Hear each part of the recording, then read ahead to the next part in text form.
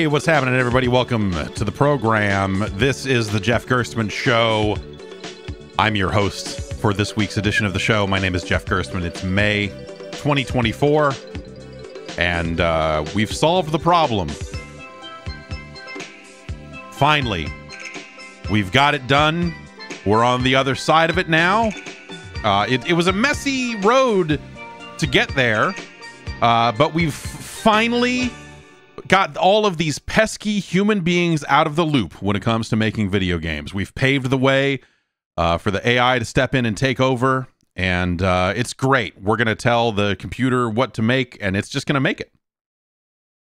And it's going to be awesome. I, I have a, you know, I mean, there'll still be people involved. I mean, you know, the humans have to write the prompts. I mean, for now, right? I mean, uh, it, it'd be nice if we could just have like, you know, maybe some kind of algorithm that watches a stock ticker and Google Trends, and when a certain thing crosses this line, and it goes like, well, uh, Dishonored three, what do we, you know, and and and when these things meet in the middle, then the prompt is written Dishonored three, comma I don't know, comma immersive sim, comma you can teleport, comma it's okay, comma rats, and then voila video game magic happens on the other end. It's uh, great. It's from the uh, it's it's from the makers of Speed. No, I'm not even gonna drag the fine folks at Speed Tree into this. Oh man. Um interesting morning in video games. I guess I would say in terms of uh, layoffs that have overshadowed some layoffs that happened a week ago um, but we'll talk about both of those. Uh, Hades 2 is out in early access. Let's start with so let's start with something that actually feels good. That actually feels like it has like so many little touches of humanity humanity all over it. Uh, that it is a feel good video game. Um, I had a great run last night. I I have so I you know I played a bunch of the technical test and um the technical test was you know basically kind of the first area of the game right? So so restarting the game in early access I was like okay all right now I just got to do this again. And and I got through that boss fight much faster and made it onto the second area and and and um and all that good stuff. So I, I've been playing Hades 2 kind of off and on the the I say the full version, but it's in, in, early access. I've been playing that version of the game for about a week now. Um, and uh, but I've been playing it off and on because you know it was it was repeating a lot of the technical test stuff, and I was like, okay, I gotta just gotta get through this. But I finally had a a what felt like a great run. You know, you have those like anomalous runs in some of these games sometimes where you just get way further than you ever have before and you keep going and keep going and you're like oh my god this is this is going great. It's never going to be like this again. Like i'll never get this far. Like it's not like the next very next run i'm going to get even farther. Like this is like some freak things happened. I got a really good build going. Everything is headed in my direction. Um and so i made it to the end of the second area and did not did not beat that fight but i I will say, um, the second area in that game I think is amazing, and the boss fight that you find there is fucking rad. It is so cool. Um, and and other than that, it's Hades. You know, hey, it's it's got more weapons than the technical test did. I guess I shouldn't compare to that because it sounds like not a lot of people or a bunch of people didn't get into the technical test. So i guess maybe that's not a meaningful comparison for people but um but yeah the the the second area and finding uh and, and and kind of seeing the other weapons that i have yet to unlock. There's an axe and i believe a hammer um and and kind of going through and and getting the resources to to start to get ready to unlock that stuff has been been very exciting. It's uh it's a hell of a game. I you know uh, when Hades 2 got announced, it was kind of like not a it was weird, right? Because that studio has never really made sequels to any of their games and and so a lot of their stuff has just been like okay, like there's a a through line in terms of um narration and and style of of dialogue and music and and and there's there's a lot of stuff there that I think you can you can look at the Supergiant catalog and, and kind of plot the the similarities there where it like like hey the, these these games feel like they're coming from people that have a very particular point of view about how they think games should be made and they're applying that to games in different genres as they go. And that's been really interesting to see. So going from hades right into hades 2 um felt a little weird at the time but uh I, hey turns out turns out hades is really good and turns out uh hey uh a follow-up to hades um, more story in that world and um, new characters and a new new dialogue like like all of that stuff has been is very very welcome. And so it's been nice to kind of settle back into uh, the world of Hades and kind of see what has changed and see you know what uh, what we're gonna do to fix it I guess is is kind of the the overall story of of of that game um, and it's been really wonderful. Uh, it does have me wondering, like, man, I wonder what you know, because because the studio, like Supergiant, has come a really long way. Um, I mean, there's certainly a larger team now. Um, but it just got me wondering, what would a sequel to Bastion, like, if they were to make a new Bastion in this day and age, meaning three years from now or something, when uh, Hades 2 is done and dusted and, and, and out the door and whatever else. Like, I like, hmm, I wonder what a sequel to Bastion would actually be like. Um, but yeah, it, it's, uh, anyway, I, I don't necessarily, um, want to spend a ton of time going blow blow by blow through it. I, I, put up a video of the technical test and, and the game still looks a lot like that. So if you kind of want to see the basics of the hub and, and some of that early game stuff uh, that's there. Um, but it plays fantastically, and I think the changes made to the combat in terms of how your ranged attack works, uh, I think are are phenomenal. And uh, and now that I'm getting better at using all of the abilities and and and mixing and matching that stuff and and finding builds that work for me, um, I, I'm I, i have been having a a really really good time with it. Um, it's in early access. I think it's on Epic, but it, it is definitely on Steam. Um, you should check it out. um, hey, the follow up to fucking Hades. Guess what? It's, it's, good. Who could have guessed, right? Um, but also like I, I guess like that that's not necessarily a given, right? I you know it would be very it, it's believable the idea that like oh here's a sequel to Hades and oh the things they changed or whatever and this is too much the same and this is too much of this like it, it's it's easy to see a world where um a sequel to Hades is maybe not the the right thing at the right time or whatever but it turns out like I I think they made the right call here. I, I don't know I don't know what the if I wonder what that discussion was like. That's a question for for them that maybe we'll uh, get to ask one of these days here. Um is like what you know was it like a very obvious move to to go right into Hades 2 did it was everyone just like oh yeah no we ha- we have to make more of this or was it more of a hey we've got these four ideas on the table. We think that this is the right time for this or that you know like what's the you know the what was that decision making process like um regardless of all that, I you know I think I think what's out there now is really good. I can't tell you how long it is because you know like I said I'm only in the second area. It sounds like that the content they've been on this game for a long time, so it sounds like the content that is available currently in early access is like at least as much as was in all of Hades one or something. And I think they still have one more major area that they're promising um, to to put into the game as well as more more I guess more more.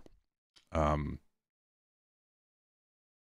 so yes, give it a look. Um, it's it's a phenomenal feeling game. Uh, and it remind you know it reminds me of like the the thing that is missing. Hades, I think, was influential. Um, I think we see a lot of games that are also still in early access that have come along in the wake of a game like Hades and have tried to you know, it's, it's it's one thing here, it's one thing there, right? It's like, hey, here's um, uh, you know, here's a game that has a, a very uh, you know, when when the when the gods come up on screen and give dialogue, it's a game that has that. You know, it's a game that looks like it has that pulled from Hades, or little little bits and pieces of that game have like sprinkled their way out into a lot of other indie games. But I think the thing that the thing that always sticks out to me when it comes to what Supergiant does goes all the way back to Bastion. And that is that idea of a narrator um, or, or a centralized voice, um, most often a narrator, that helps you in ways that you know, like like there's a lot of games have dialogue right? But there's subtlety to this dialogue in terms of the things it is telling you. Um like hades doesn't really spend a lot of time um telling you what the names of all the enemies are. You just walk into a room and your character says like uh floaters or whatever they are you know like like tells you the name of them right there in context in universe and you learn it right there. There's a menu you can go dig into and, and dig it out of there if you want to. But um, the other thing it does is when it will point out that you you are like oh i got farther than last time like when she says it and and and that happened in hades 1 as well it's that idea of like the characters are in this with you and the characters are reacting to the world as it is without you know a bunch of video gamey layers that would make it weird for them to comment on that. Like the story is written in such a way that her repeating the task makes sense and blah you know? Um and all of that is acknowledged. And having that work as a as a commentator you know wh- whether it's coming from your lead character or coming from narration or or, or you know sometimes a bit of both um, i think it's a way to keep you in that world while also keeping you informed about that world. And i think that that is one of the things that i think a lot of i i don't hear that in a lot of voice acting in other games. It's not to say that that acting is bad or whatever but you know like the the voice acting in a lot of games i feel like it doesn't I, I can't think of very many other games that have tried that. I mean, the thing I go back to is I think this is, you know, I, I think it was when Pyre was coming out. Um, and and you know and in talking with them about their games over the years and stuff like that it was that kind of that moment of like oh you know like nba jam you're like oh oh you're viewing the okay like you're viewing the narration in a in a way serving as purpose somewhat similar to a commentator in a sports game or something like that, right? And and and that made a lot of it click. Um, where like, oh yeah, huh? Like the commentators in sports games are are kind of giving you that situational awareness, whether it's you know you know, when when you get that last shot near the end of the game, he will come on and say, "The nail in the coffin," like the the very situational type of stuff. And I think a lot of Supergiants games have done things like that um, really well over the years. And it's not something you hear in other games. It's not really, you know, like there plenty of games do barks and situational awareness and all this other stuff. You know, when you throw a grenade, Snoop Dogg says, throwing grenade. You know, Tommy Chong comes on and goes, throw in a lethal, or, you know, whatever the fuck he says. Um, but it's kind of not the same thing, you know. Uh, and I guess in in that way, for as much as I think that Supergiants games have become known for their voice acting in terms of just like the straight up quality of it and the quality of the writing and and the quality of of that dialogue, I think there is also that aspect of the game of the games where the dialogue is put to work in a way that a lot of other games don't. And I think that's outstanding. And I think Hades 2 continues to do that. Um, and I think that's one of those like kind of signature things for them when I think about their games, that is something I think about. Um, that is that is something that I it feels like that they that they nailed just about every time. Um, and I think that that's really neat. It's really neat for you know like uh, studios don't uh, maybe they do. I you know like studios don't feel like they have signature styles the way that they some do some don't. I don't you know like it, it it's the I think a lot of smaller, yeah, yeah. I don't know. There's, yeah, I, I, I'm, you know, that's that's not a fully formed thought, but uh, but I think the thing that they do with voice and voice acting, um, and the way that they use it and the purpose that it serves in the context of their games, or the the multi-purpose that it serves in inside of their games, I think is really, um, astounding when you when you sit down and, and and see what it's doing and look at it. Like it's it's it's really it's really really great. Um so yeah i don't know. Hades 2 you should check it out. It plays well too.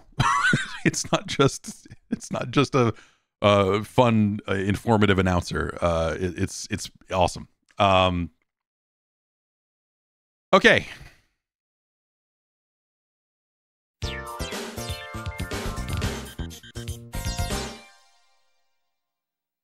In the news,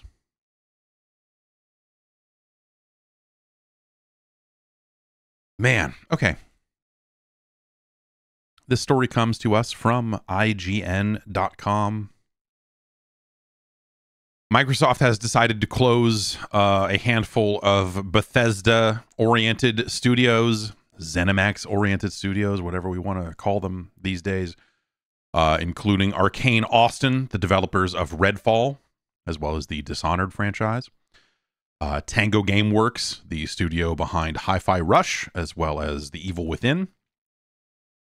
Um, along with Alpha Dog Games, the studio that made Mighty Doom, which is a, a cute little mobile uh, game with the Doom license that uh, was neat, but eh, you know. Uh, and uh, another studio called Roundhouse Games, is going to be absorbed into ZeniMax Online Studios, which is the studio working on Elder Scrolls Online. I don't remember what Roundhouse did.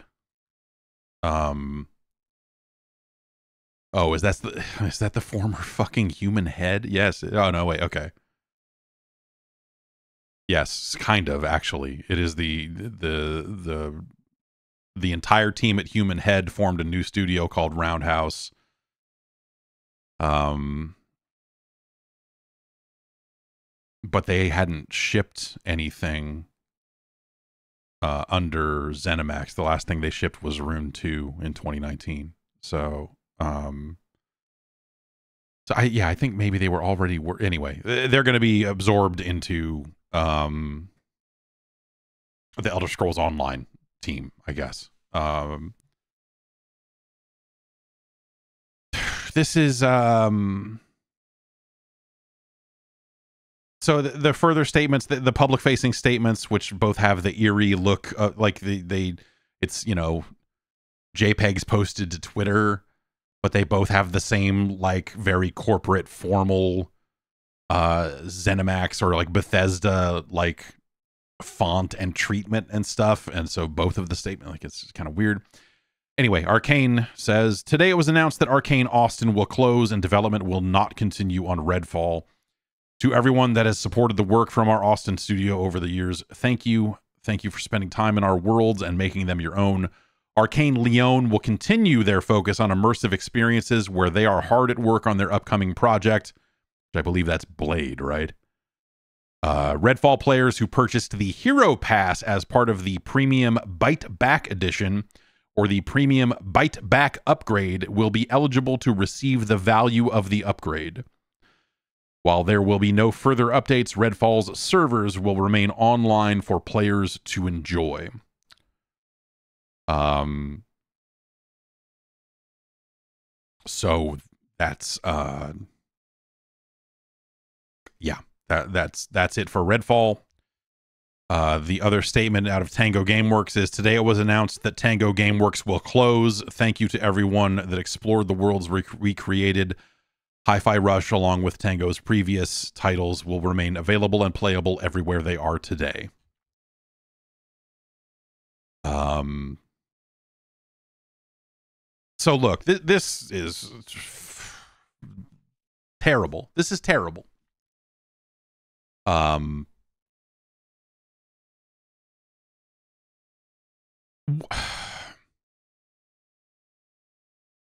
also, I would say that Redfall obviously did not do the numbers that they thought it was going to do. And at some point, time, whether time got away from them or whatever happened, like the updates to Redfall to quote unquote fix it were a long time coming.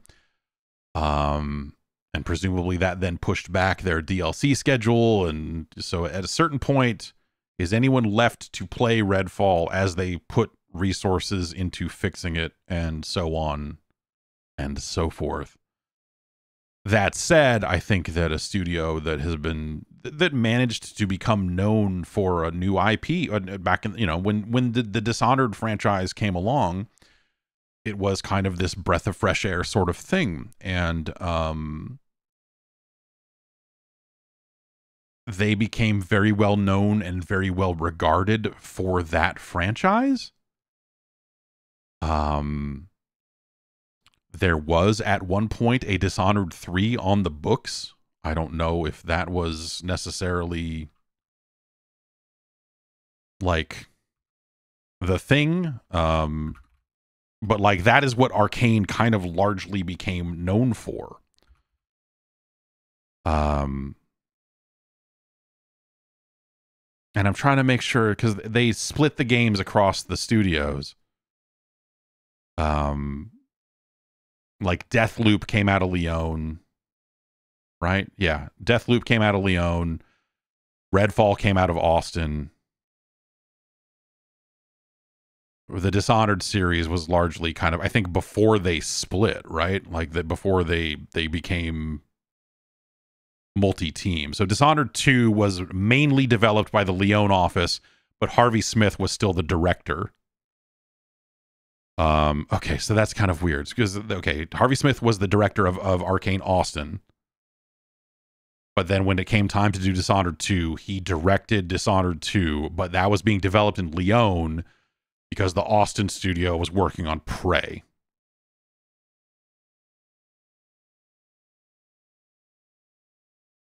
Okay. um and then Dishonored 1 all the way back in 2012 uh looks like it was just kind of the whole of Arkane. like there you know Lyon was was on that as well as um, as well as the Austin studio. Um,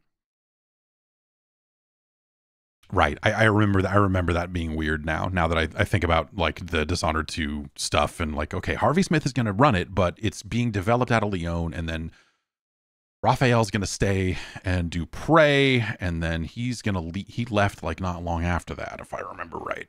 Um. So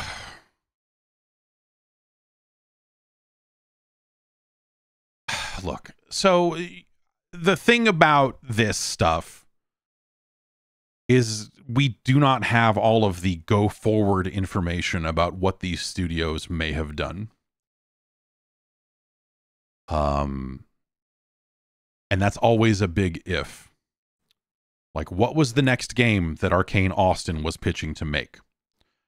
Was that a meaningful pitch? Was that a pitch that it seemed did a lot of people leave after Redfall, putting them at a point where they would have had to staff up uh, greatly to to even make another game. You know, had enough of the team left, was enough of the team burned out and and and on their way out that like if you have to look at reinvesting a full game's worth of money and marketing and everything else into Arkane Austin, is that a safe bet? Um we don't know. I don't. That's not me saying like, oh, they couldn't have got it. Like, I, I, I don't know. Um, Hi-Fi Rush, Tango GameWorks is a, is a is, that's a tragic situation. Hi-Fi Rush was an award-winning release. It was a beloved release. It was a feel-good release from a publisher, Microsoft, that desperately needs games like that.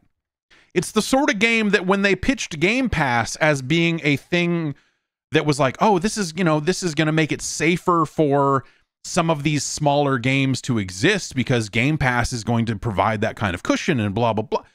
Um So okay. That's it, I guess, for that. And and Tango's other works, The Evil Within and Ghostwire Tokyo, uh certainly had their fans. Um and uh, if we go back to, there was a document uh, re- released in 20, or, or, I guess it was, it came from 2020, but it came out of, uh, it was a Microsoft pitch deck that was uh, dated from an era when they were looking at buying ZeniMax and when they were looking at doing this deal. So it was them looking at the development slate for what was going on over there, and um, and then that came out. I think that that pitch deck made its way into some lawsuit filing or something. So that's that's why we we have it now. Um, it has a it has Ghostwire Tokyo sequel written on it, and it has Dishonored three written on it for fiscal year twenty four. Um, which obviously the the dates are way way way out of whack. Um,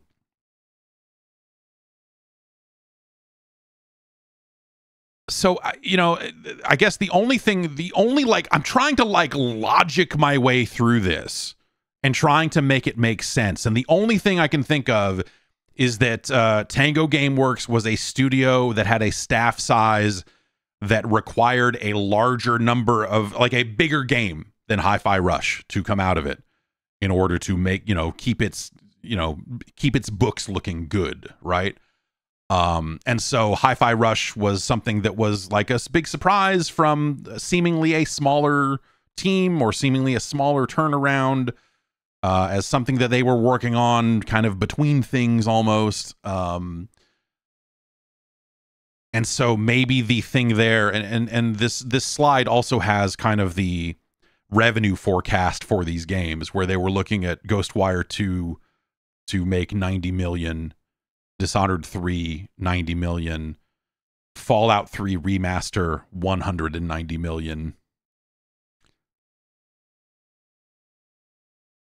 I mean, if you want to fucking like take the the cynicism train all the way to its logical destination here, uh, if the forecasts are saying that a remaster of Fallout 3 will do better than two sequels uh, to relatively newish IPs combined, then what the fuck are we even doing? Why are we? Why is anyone making a new game ever? What the fuck? Like, shut it the fuck down.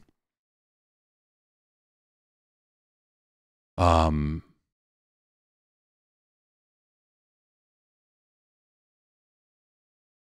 you know, Elder Scrolls Online was projected to make more money in fiscal year 24 than either Ghostwire 2 or Dishonored 3 by by the look at this uh, admittedly ancient forecast. Um,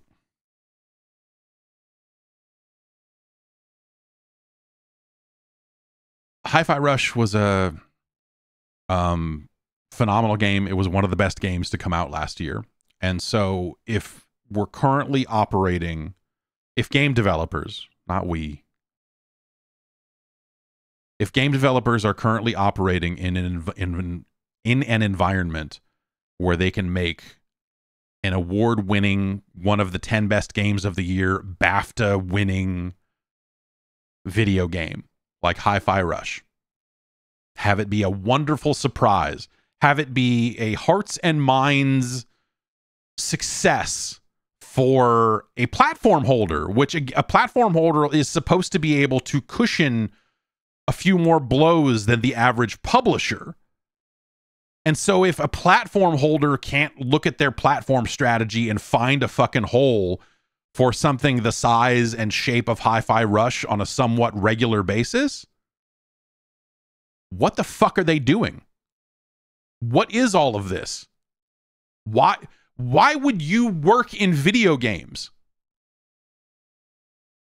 if you can go out there and make something that is critically acclaimed, a, a game that like Microsoft, that Xbox level executives went out and defended when when a narrative spun up about like oh well hi-fi rush doesn't seem like it sold very well or whatever like microsoft a company that is very good at saying jack shit when it wants to and being like well we don't comment on rumors or speculation. They made sure aaron greenberg made sure to get out there and say no fucking we're thrilled with how hi-fi rush did. We think it's yeah we're fucking st- like like if all of these things can happen and you still can't quite find a way to keep some form of this studio together,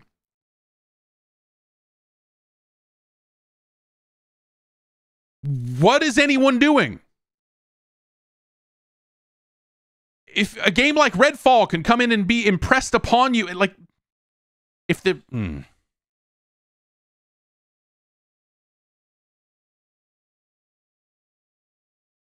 from the studio that brought you Prey, a game that people fucking loved the shit out of.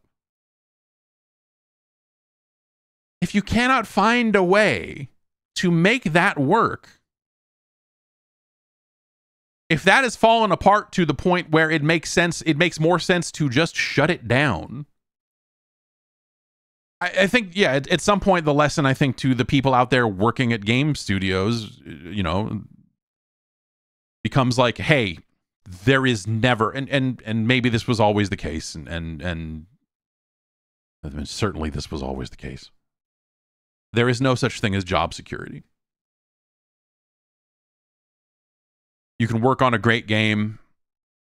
It can win awards. Uh, you can make all the right calls uh, it can go on and sell fine, uh, and uh, and you can all get laid off anyway. Like that. That seems like the lesson out of this. Um.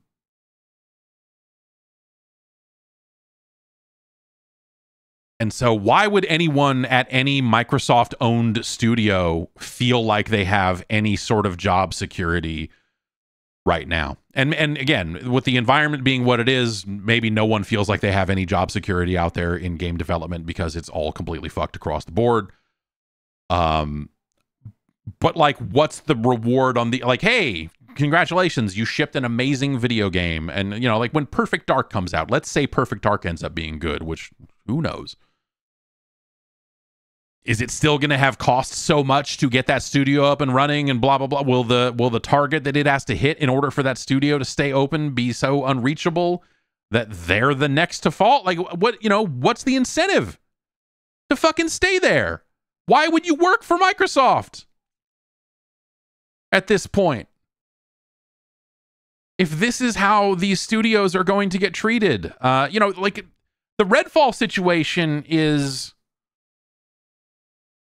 interesting too because it because Redfall became something of a focus and it shouldn't have. And maybe if it hadn't, maybe this wouldn't have happened, but be, but Redfall kind of got a bullseye painted on it for better or worse.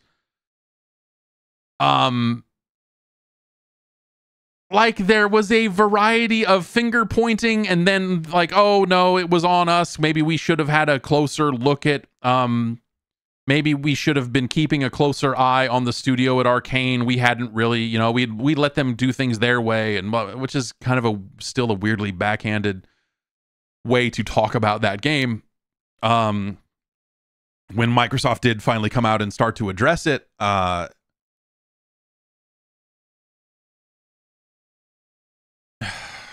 yeah, I like who's to who's to actually blame for this stuff ultimately. And, and that's the stuff we can never know, you know, like, hey, maybe on the ground, uh, some bad calls were made about the next project, maybe the pitches for the next projects, you know, hey, maybe, maybe Ghostwire Tokyo, maybe they took a look at how well Ghostwire Tokyo 1 did and thought about like uh, if in fact the the current running pitch or pre-production or whatever was a sequel to Ghostwire Tokyo. I don't I don't know. That was what was on that document, but that document is 4 years old now and who knows, right? Um, but maybe the next pitch from Tango Gameworks after Mikami leaves and whatever else Uh, maybe they take a look at that pitch and they go like, "Nah, this doesn't really fit with what we're trying to do. This isn't really, this isn't really a game we want to." that we want this studio to produce and maybe we can work with them to produce this and in either way you know neither of the, i would say neither of those sequels an evil within 3 or a ghostwire tokyo 2 neither of them set the world on fire um neither of them seem like they are would be destined to be massive big hits but also i would say the exact same thing about hellblade 2 and microsoft has persisted uh on getting behind that game in a way that personally I find a little strange. I don't know. I I've been voicing these views and did not get invited on the last cycle of previews for Hellblade 2, so I can't tell you one way or the other. Um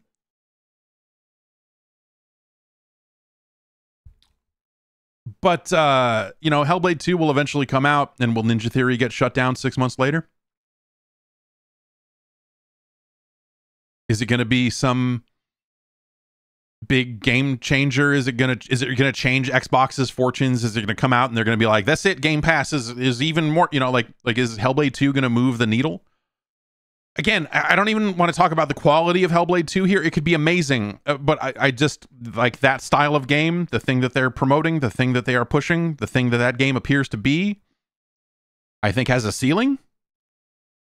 Um, and it is not something that feels like it is destined to be the next big mainstream success or whatever and not every game needs to be that but also you just shut down studios that seemed to be making games that were sort of in that lane um I, I yeah I don't know. I, I wonder if there is like a meaningful shift happening inside of Microsoft. If they're like, hey, we need to get back to we need to get back to the bread and butter type games that that made us in the 360 era. Is that why there's talk about new Gears of War being announced in June finally? Is, is are they just like gonna circle the wagons and be like, fuck it, Halo Gears Forza Fable? I don't think those games get the jobs done, the job done anymore. But also they have Call of Duty, so they don't have to care about any of that stuff, right? Or or do they? I you know, the larger Microsoft position is really strange. You know, we just had their earnings call. You just had uh, Nadella out there talking about, well, we're the we're the top publisher on PlayStation. Like that's awesome. I guess I don't know. Is it like I you know, are, are you going to start acting more like a regular publisher? Because layoffs like this feel like regular publisher embracer group type moves, not platform holder type moves where the platform holder says, hey, we need a wide variety of games on our platform. As a platform holder, you know, like uh, games like Hellblade 2 and, and games like a Ghostwire Tokyo and some of that other stuff, I think make a lot more sense as part of having a healthy, widespread portfolio. But, you know, at some point, the push and pull of having a wide variety in your first party portfolio butts up against does anyone actually want these games um and i think that's that's sort of a rough thing that that that these studios i think maybe got caught up in to a certain degree dishonored has always been one of those franchises that's been beloved but it's never been like a breakthrough smash success like one of the best selling this and that and you know, if, if they're looking for games that are going to be that, which maybe they are, maybe they're not. I, I don't. Um.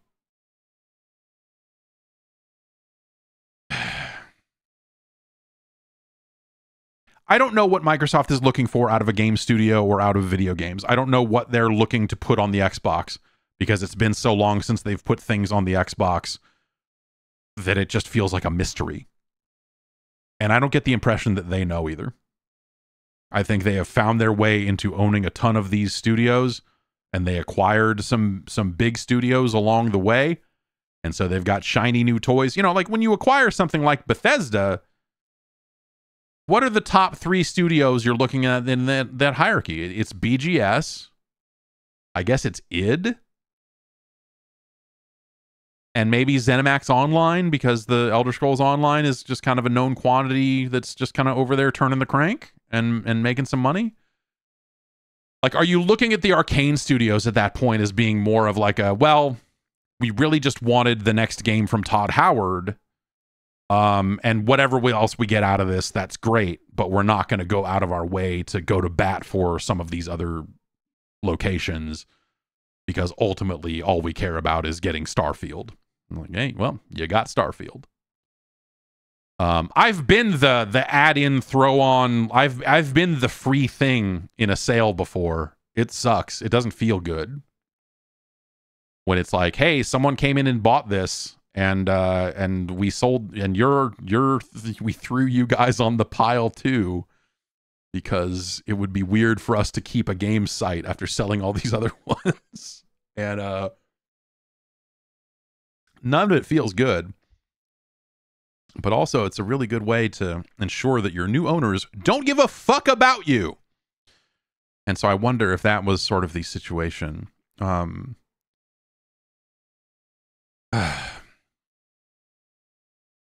none of this feels good or right or feels none of this feels like video games are heading in the right direction. None of this feels like we're really uh you know hey it's a tumultuous time but like we if we see it through to the other side like none of none of what's happening right now in video games feels especially good um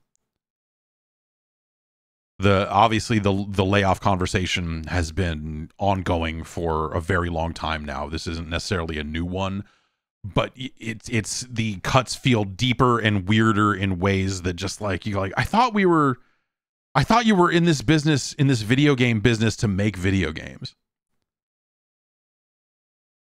But like everything keeps getting pushed back and studios are getting shut down left and right and studios that are not, you know, like relatively recently acquired, you know, the the in the case of the Bethesda stuff like you know, that's still a relatively recent acquisition to just be like shutting down whole teams and being like, yeah, yeah, we're good on this. We're just gonna, uh, we're just gonna have a, a, a one of those file boxes, one of those white cardboard boxes, and we're going to write the word dishonored on it. And we're going to stack it here in the back, right next to the Ark of the Covenant. And uh, we're just going to close this up and, you know, whatever. Um, this makes me feel, you know, actually like way fucking worse about the Activision acquisition. Um, in terms of like, hey, there's a lot of uh, Activision IP that you could, in theory, tap into for new games. And someone wrote in, and uh, you know, we were talking about Pitfall not that long ago, and like, what the hell would you even do with Pitfall? And someone wrote in and said, you make a search action game with it. You you make you you make a, pit, a Pitfall Metroidvania. And I was like, oh yeah, I guess that's actually kind of exactly what you would do with that, isn't it? Um, that would probably work reasonably well but yeah i don't know the, the this stuff just it, it's it's the, the the business of big video games big video game has never felt more broken. Um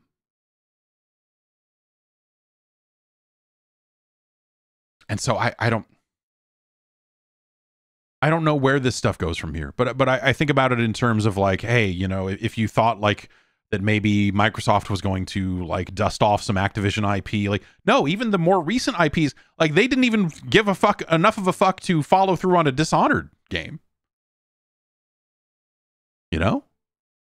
And Dishonored to me always felt like a fairly safe sequel to make in terms of you know probably what that game's going to sell. You're probably not going to get it to be some massive, bigger thing at this point, but it's got a very dedicated fan base that would be excited to see a third game. Bringing those games to Game Pass might get more people into it and and get more people on board for a new game in that franchise.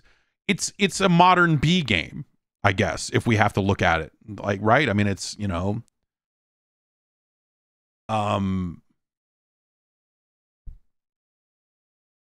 but yeah, I don't know. If you're working at a studio owned by Microsoft right now, like, you know, what's the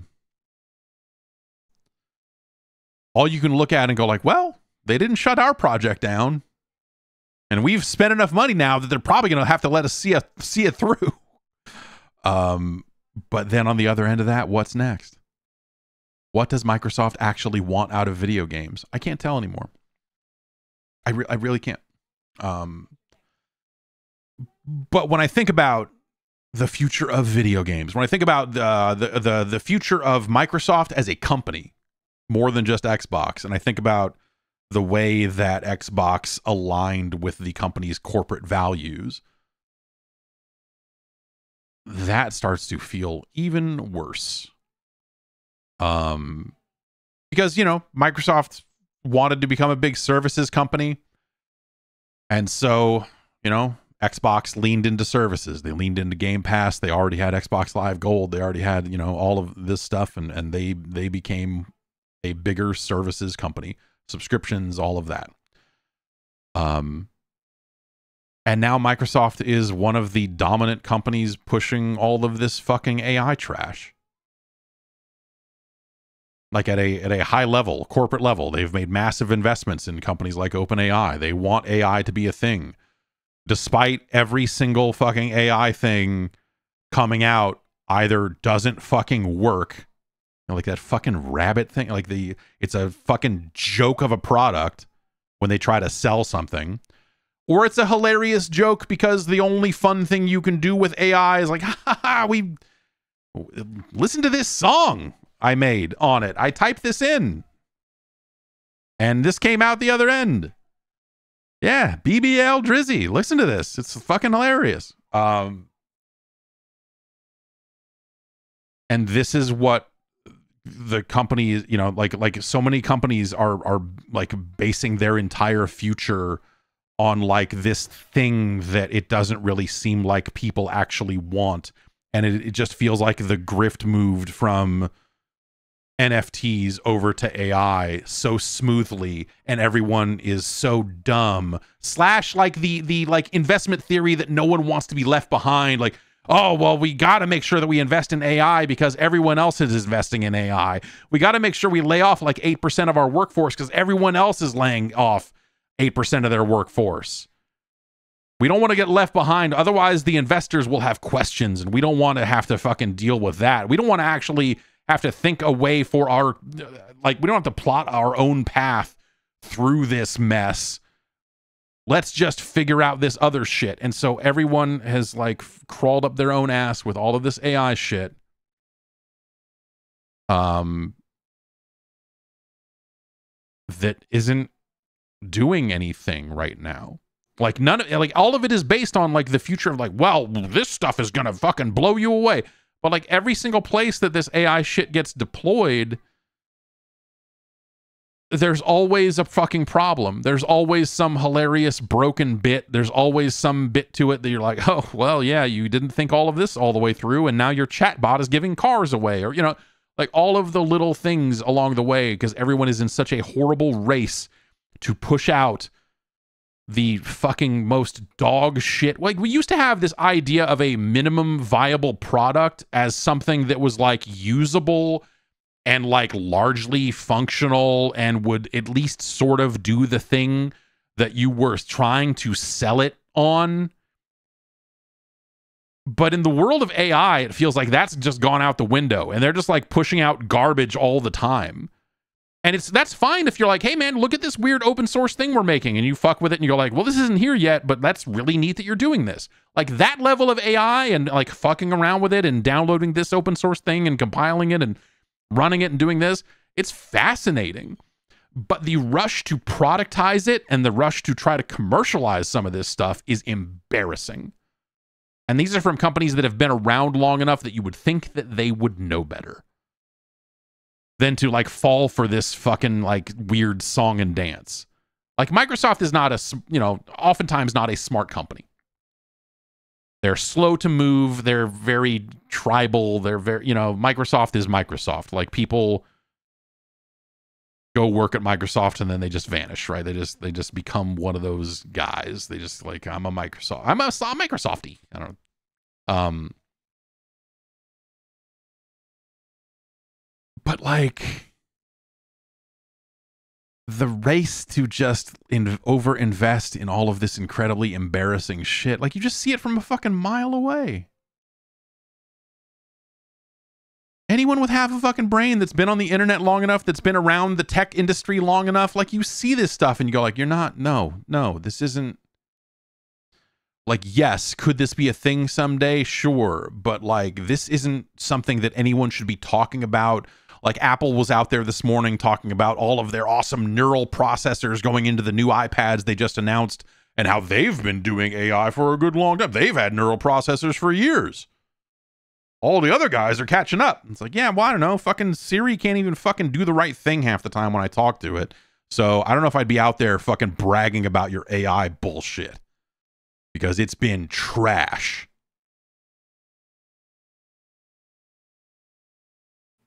And I, the thing is, is I don't think people necessarily want it to be better or care enough about it. They're not there going like, if only this was better. They're like, no, I don't need that. I'm I'm fine. I don't need that. No, you don't need to. Like, you know, when Apple puts out phones next year and Siri gets like an overhaul, you know, in, in iOS 18 or whatever it is, when they're like, now, well, we can do all this on device processing and do all this sort of stuff. It's Like, okay, that's cool. I, I don't need that. I don't need that. I open up an application and I look at it. Like Siri is usually good enough to read a text message that came in while I was driving a car. That's about it. I don't, you know, like I don't need like no, and and and it's not just me being like, well, I'm an old man and I like to use a mouse and keyboard. It's I the demand does not seem like it is there for that. This does not seem like it is the way forward for efficient modern computing. Um I don't need a bunch of on-device neural processing to tell Siri to fucking like wake me up in 20 minutes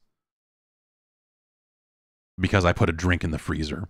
And it's faster to say wake me up in 20 minutes than it is to say set a timer for um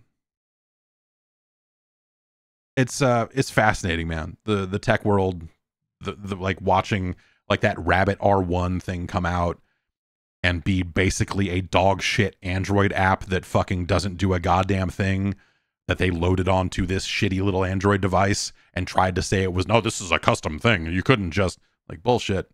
People fucking made it run on a phone. Get fucked, losers.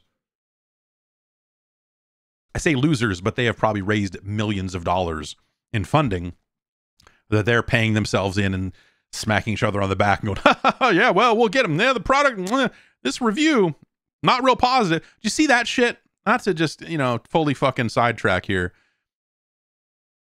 But the review of that Rabbit R1 that came out, um, from I don't remember the dude's name.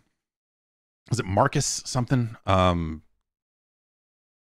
like he wrote a he put up a YouTube review of of uh, Brown, yes Marques Brownlee yes um put out a review of this rabbit thing which was an AI device. It was meant to be like you clip it to your shirt or something and it's got a, a, a shitty little screen on it. Um and you know you can i don't know talk to it or, or whatever.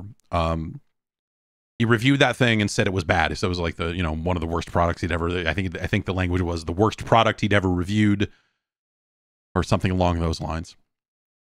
And there was like a cadre of people and that dude i i don't i don't really i don't follow his his work too. I just know that like the general consensus that i have seen is that he is a he's like a relatively light touch on a lot of stuff and doesn't necessarily go in and um and tear things apart and doesn't necessarily tear things down as as a rule. Like he's uh you know like a a relatively um even-handed guy i guess. Um but like this review hit and then you have all of these fucking tech bro like not even tech bros it's like the tech bro hangers on that are like on Twitter all the time, and and and just like people going, I can't believe that you know you would tear down someone's work like this or do that, like, or you know the thing doesn't work. The thing doesn't do what it's supposed to fucking do. That's what reviews are for. People want to spend money on a thing. They want to know if it's good or not. They, you know, like the idea of a review is to provide that service the very idea that a review is like, "Oh, you should have let it. Why would you do this? Why would you tear down this product in this nascent space that we're trying to grow this, bro?" Um those people can go fuck themselves straight up. They don't know what the fuck they're talking about. That's what reviews are for. The ideal like review reviewers are in place to help people make smart decisions about what they buy next and hopefully save them some money. I don't know. That that dude has had like like the last time that dude kind of came up was when he reviewed the Cybertruck and was like weirdly nice to it in a way that just made the whole thing sound super fucking suspect. So the idea of going to that dude and being like, "Why are you being so harsh?" It's like, I don't know, man. Did you see him kind of like white glove, soft touch the the Cybertruck a little bit while saying it's bad, but it's like, oh, it's still okay. It's like that DJ Akademiks dude trying to maintain that Drake is not so bad. Like, no, I listened to it again and no, this is this is fire. I'm pretty sure this is actually fire. Like, fuck off, you fucking idiot. You sound like a total fucking dumbass. Are you kidding me? Um, please. Um, So anyway, you know, the whole fucking world's fucked. I guess in in conclusion, uh, Microsoft shut these studios down. I I don't know what to make of it in terms of like you know Microsoft is still a fairly uh fairly you know how many billions of dollars in profit did they make? Um, it is twenty one point nine billion in profits beating Wall Street's expectations. Um, now, obviously, you don't stay a profitable company by ma- making sure that your unprofitable portions of your company stay around and stay in business. They're not running a charity. I understand that. Like, business is harsh. It sucks. It's fucking trash. Um, but also, like, I, I just, I, I can't help but look at this as like, as two, as two things.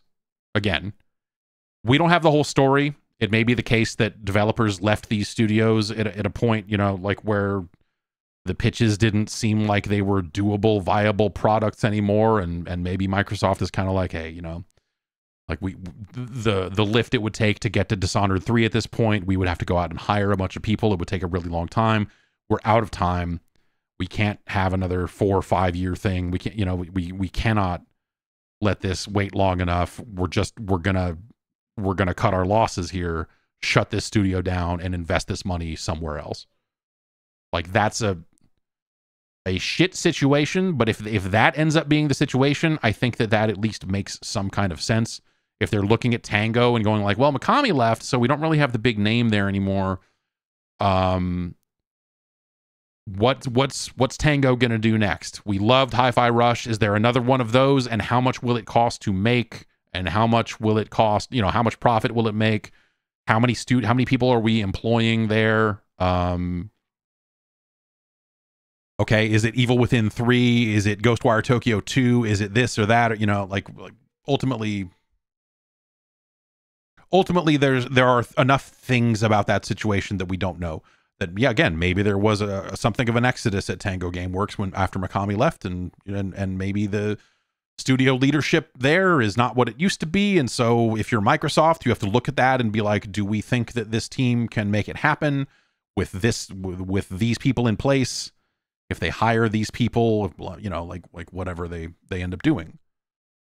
I'm not saying that was the situation. I'm saying that that is a, that is a situation that you would look at and go like, well, maybe we don't invest in this studio again. Maybe we don't maybe we don't place this bet right now because we don't think that that it will do what it needs to do or it will come in on time or under budget or you know whatever it is. Um but also I think the idea of shutting down the studio I, I think I think the idea of shutting down Arkane Austin uh the studio that made Prey um which is a very renowned video game. Redfall is not a good game. You know, I'm not. This isn't. I'm not. I can't. I can't sit here and defend Redfall. I know they did put some work into it, but like at some point, with that thing, no amount of work was going to actually fix the stuff that needed to be fixed there. You know, getting it to run at 60 frames per second on on an Xbox was not going to suddenly make everyone love, love Redfall. Um,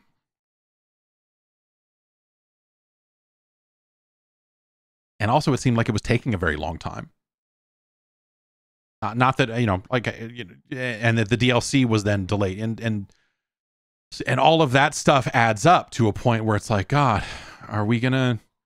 What's the right thing to do with Redfall? Like initially, the right thing to do with Redfall was to make sure that you are fixing the game and so to make sure that you you know it, it, you can kind of end it on a positive note. You can't just cut and run and be like all right here's their next game. So instead they put some work in on it and then cut and run later but also shut the studio down. So there is no next game. Like from the makers of redfall um that feels fucking bad that feels very bad and again, I, I don't know what it says about you know developing games at, at, at Microsoft. Um, I, I think that that that becomes another factor there. Like you know, if, if you're, you know, are you are you going to finish up your project? Like is Indiana Jones going to ship and they're going to be like, all right, Machine Games, you know, what do you want to do? And they're going to go Wolfenstein three. We owe people Wolfenstein three, and then is Microsoft going to go like, eh? We're not feeling it. So we th- instead think that you should uh, pack up your stuff. You know, like I, um,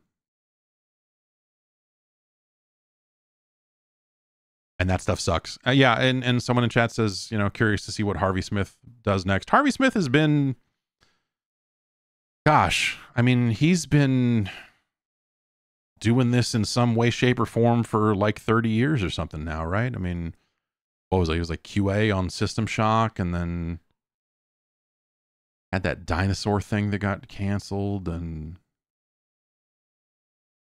uh, was it Midway for a minute?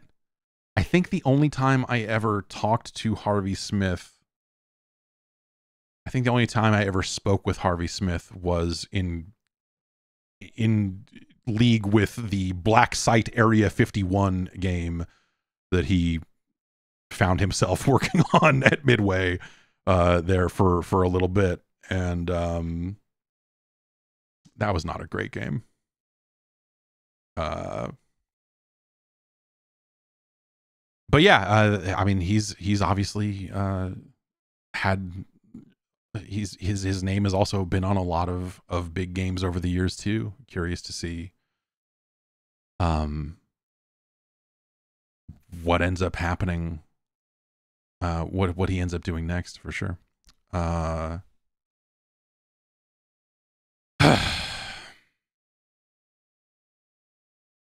so yeah, I don't know. Like I, I already there was already stuff with this week's news that was was a little all over the place, and I was already kind of like bummed out about aspects of it. But then that all that Microsoft stuff just happened this morning, and um, yeah, it uh, it, it feels very it, it feels bad it feels bad. Uh, my hearts go out to uh, all, all the people affected by this. You know, this the, it's, it's another it's another big one. It's it's another like in in the wake of a, a ton of other layoffs and like how do you you know where do you go? What do you do? What's the Austin scene even like anymore for game development? Um, because they were they were a fairly probably a, a fairly major part of that. Um, uh, turns out the people over at PlayStation don't know how to make PC games. They have no idea what goes into selling a PC game. They have no idea uh, how to make all of that work and they did not think anything through when they decided to publish Helldivers 2 on the PC. Uh, this last week has been a really fascinating uh, display of that lack of knowledge, that lack of know how. Certainly, Sony has published multiple PC games, uh, but with Helldivers 2 being a an online game, uh, this was perhaps I, the first time that is this the very first time they've done any sort of cross-play with console on a Sony published PC game. Anyway, Helldivers 2. People love it. People very excited about Helldivers 2. And then they went ahead and announced uh, a little while ago. God, is this, did this all take place over the course of a week? Or was like a week and change? Anyway, uh, it was announced that Helldivers 2 was going to, at some point, uh, I believe May 30, yes. So it was, it was an update that was going to hit yesterday originally.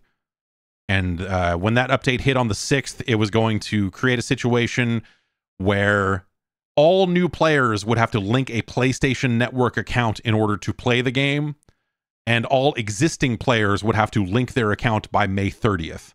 So basically, every player would need to have a PSN account. Um, there's just one problem with that. Okay, there's one major problem with that, let's say.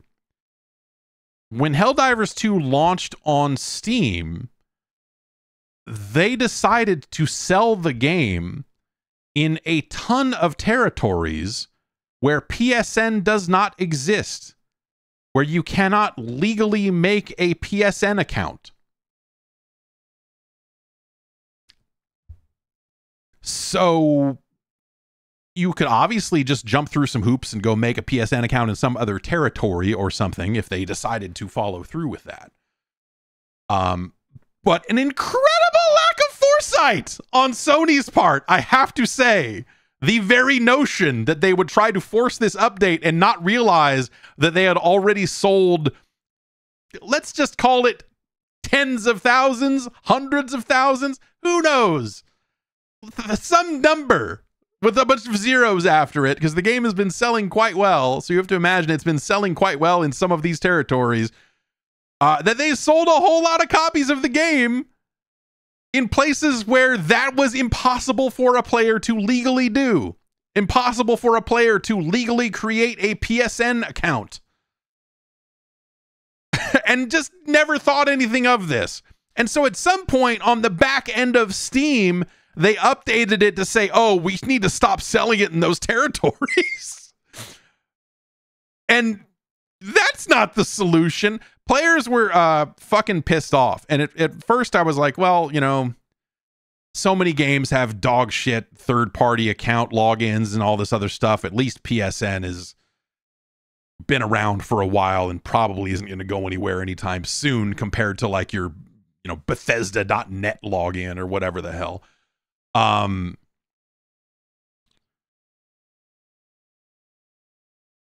But to do this when you've been selling the game in a territory where you cannot actually do PSN, make a PSN account, is fuckiculous.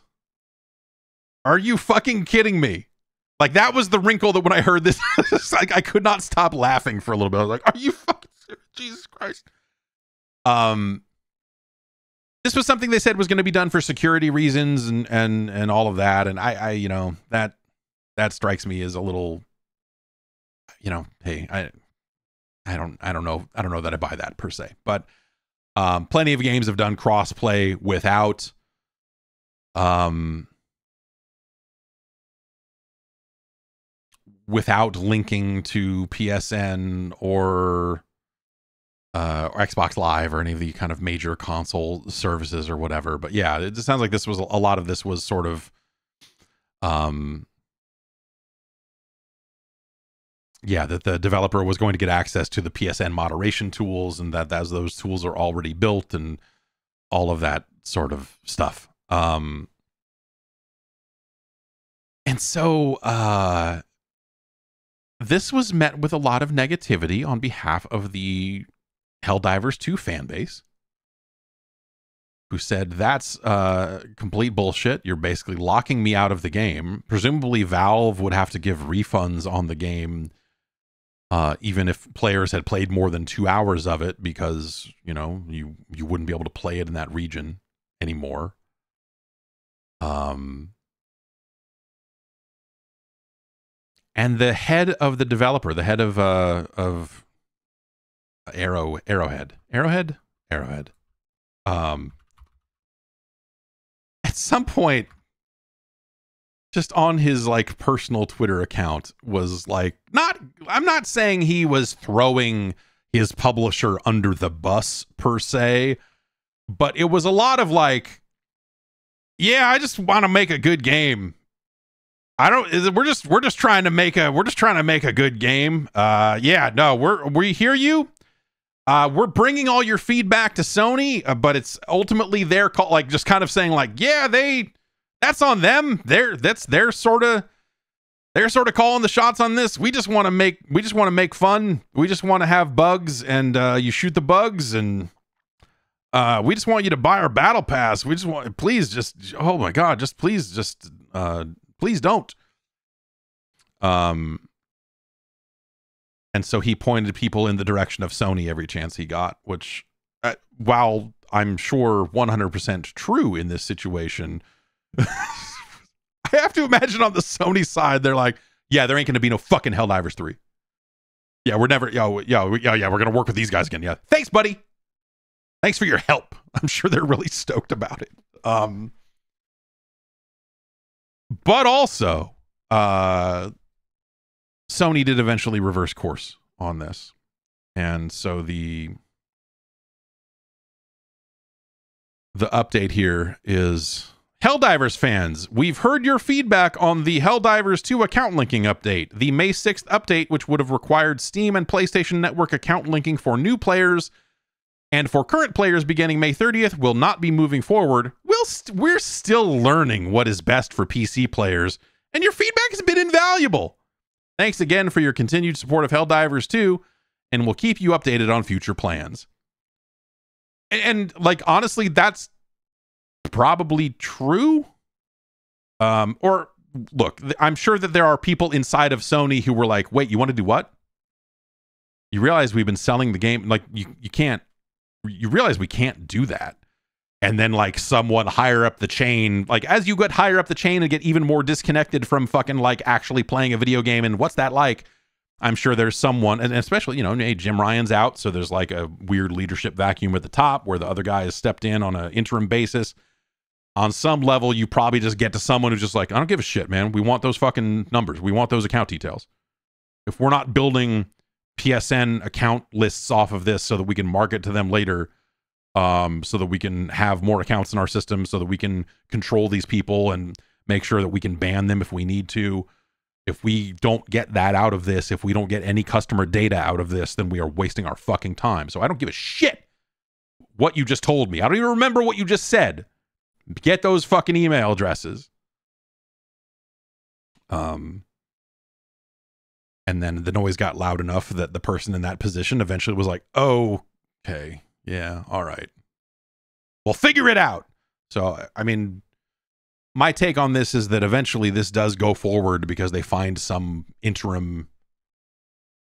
They they'll have to engineer something now. Like the, the, ultimately, this probably leads to a situation where the developers have to engineer some kind of solution that acts as a shim between their account system and the PSN account system, and if it gives them access to the tools that they need access to in a different way or something like that, I I wonder if this ends up being a situation where uh, you know, updates to the game are slowed a little bit because now suddenly they have to, you know, something that would have been like probably a lot easier to roll out technology wise, even if it is a thousand percent wrong for them to do, um, is now something that they have to build bespoke uh, for their game. Um, anyway, it, it's good that that changed because that's stupid. Um, uh, like especially like if if they had restricted the sale of the game to territories that only had PSN accounts, I think that you would have had two things. One, you would not have had this be as big of a deal as it would have been but two, you probably would not have sold as many copies as you did. Um, VideoGamesChronicle.com is citing a research firm called Circana, where uh, Matt Piscatella is. Uh, and he had to say PC has, has been a huge part of the success of Helldivers 2 in the US. With PC, Helldivers 2 is already the seventh highest grossing Sony published game in history. Without PC, it wouldn't currently rank among the top 20. So, just from a straight up dollars perspective, like Sony has a very vested interest in making sure that this game continues to sell the way it does and, and that it, you know, it has been a, a, widespread success. It has been a phenomenal breakout hit. I mean, I think a lot of people were looking forward to Helldivers 2, but not like this. you know? Um like it's definitely become a, a phenomenon. And uh very funny that Sony would try to like do their damnedest to shoot themselves in the foot about it for uh over over account details or or whatever else. Along the way on all of this stuff, uh, Sucker Punch, the developers of Ghost of Tsushima, got out there on Twitter and said, Hey, just so you're aware, a PSN account is required uh, for Ghost of Tsushima Legends online multiplayer mode and to use the PlayStation overlay. It is not required to play the single player game. So remember that you know in a in 9 days here they're going to release Ghost of Tsushima director's cut on the PC and it, it appears that their entire multiplayer solution is built around PSN. Sony's been out there touting this and how it's going to have an overlay and be able to, you know, you'll be able to get trophies for the first time on a PC uh, and uh, and all of that stuff. So uh, that's not a huge surprise, but it was just funny in in the context of all of this other stuff going on that they were like, uh, so hey, listen, yeah, you're gonna need one of those if you want to play multiplayer. So yeah. Um at least people know before they walk in and before they, you know, go and make a purchase. I ran into this is not quite the same thing, but so I have had uh Topspin 2K5 installed, a 2K's tennis game uh, installed since it launched. And uh, I launched it the other day to finally give it a look. And it goes through all the process of like, hey man, do you want subtitles? Do you want to use the metric system or the other thing, Imperial or whatever we're calling it? Uh, hey, what? How big is your screen? Do you want to uh, change the the safe zones? Like you go through the first several setup steps, and then it pops up a screen that says update your 2K account. Your account is missing details or is unverified. Complete your account to start playing now.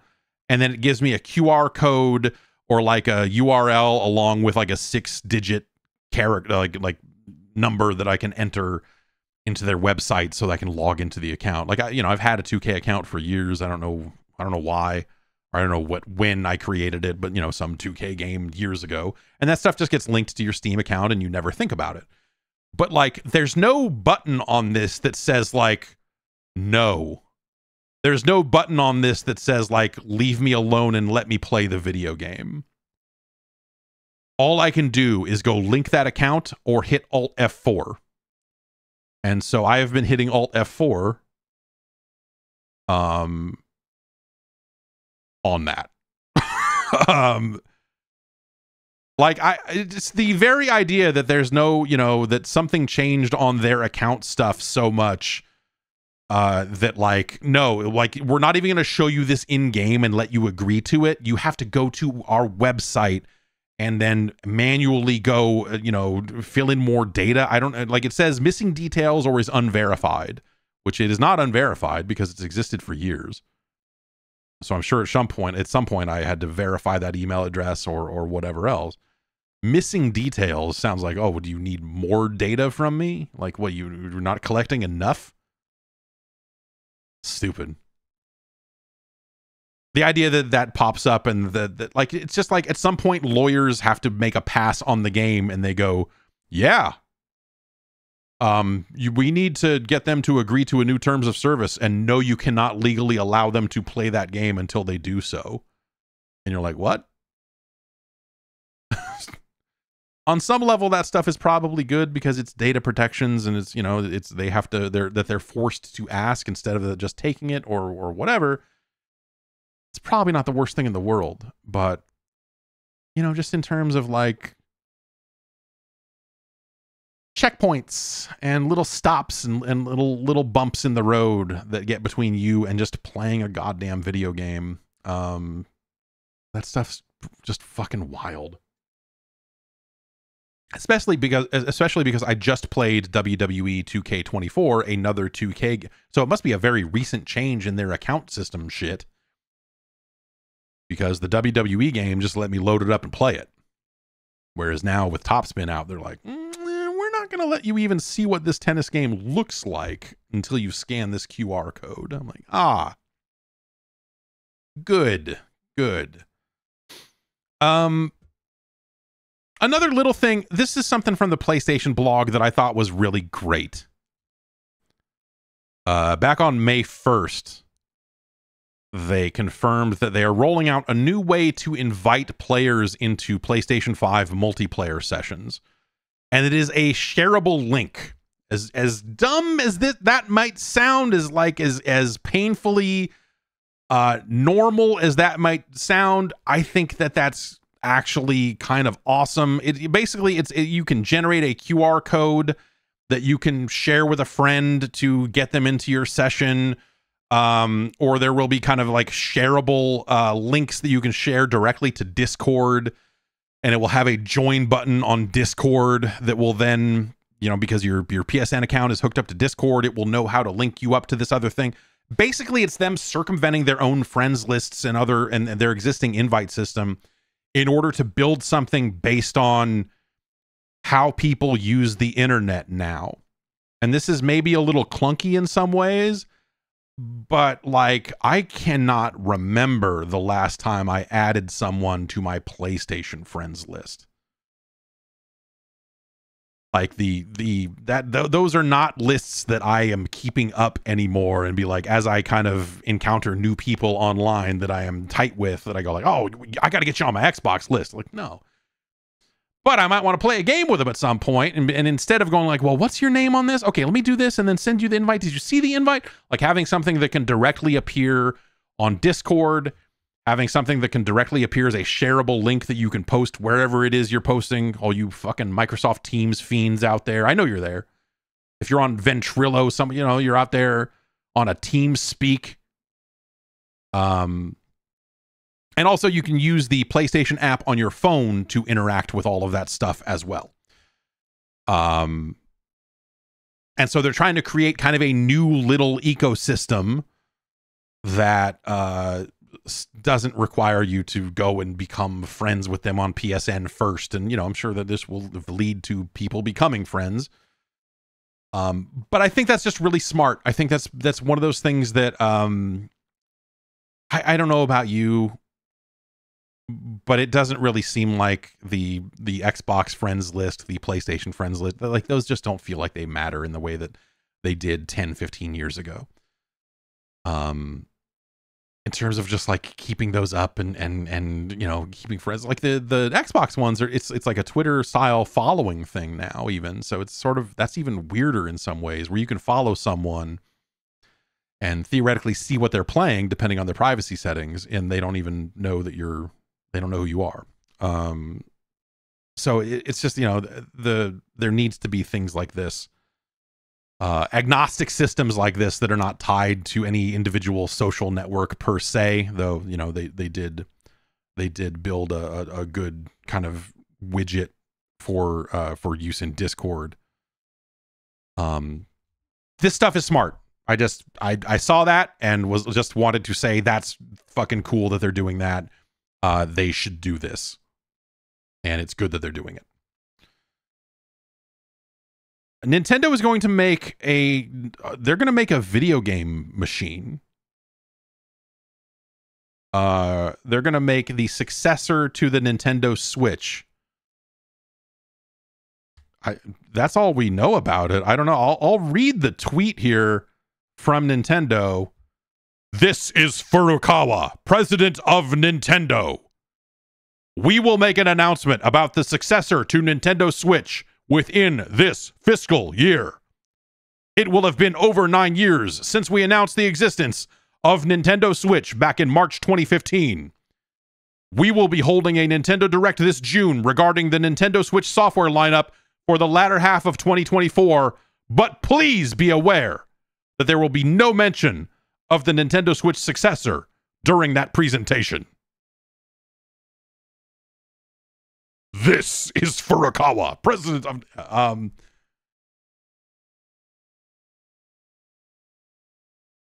Uh, so yeah, I don't know that uh, if if if they're going to announce it sometime this fiscal year, that means before March of next year, I believe they will announce the system. That doesn't necessarily mean they're going to ship it in that window. Um, it's really just an acknowledgement that uh, it's the first official acknowledgement, I think, of there being a follow up to the Switch. Obviously, you know, seems like dev kits are kind of out there in some situations.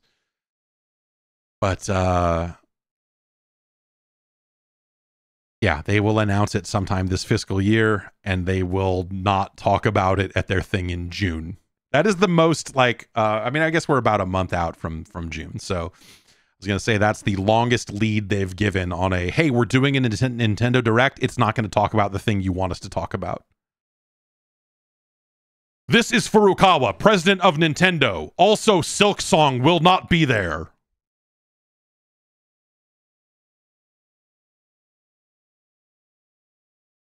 Um, please understand.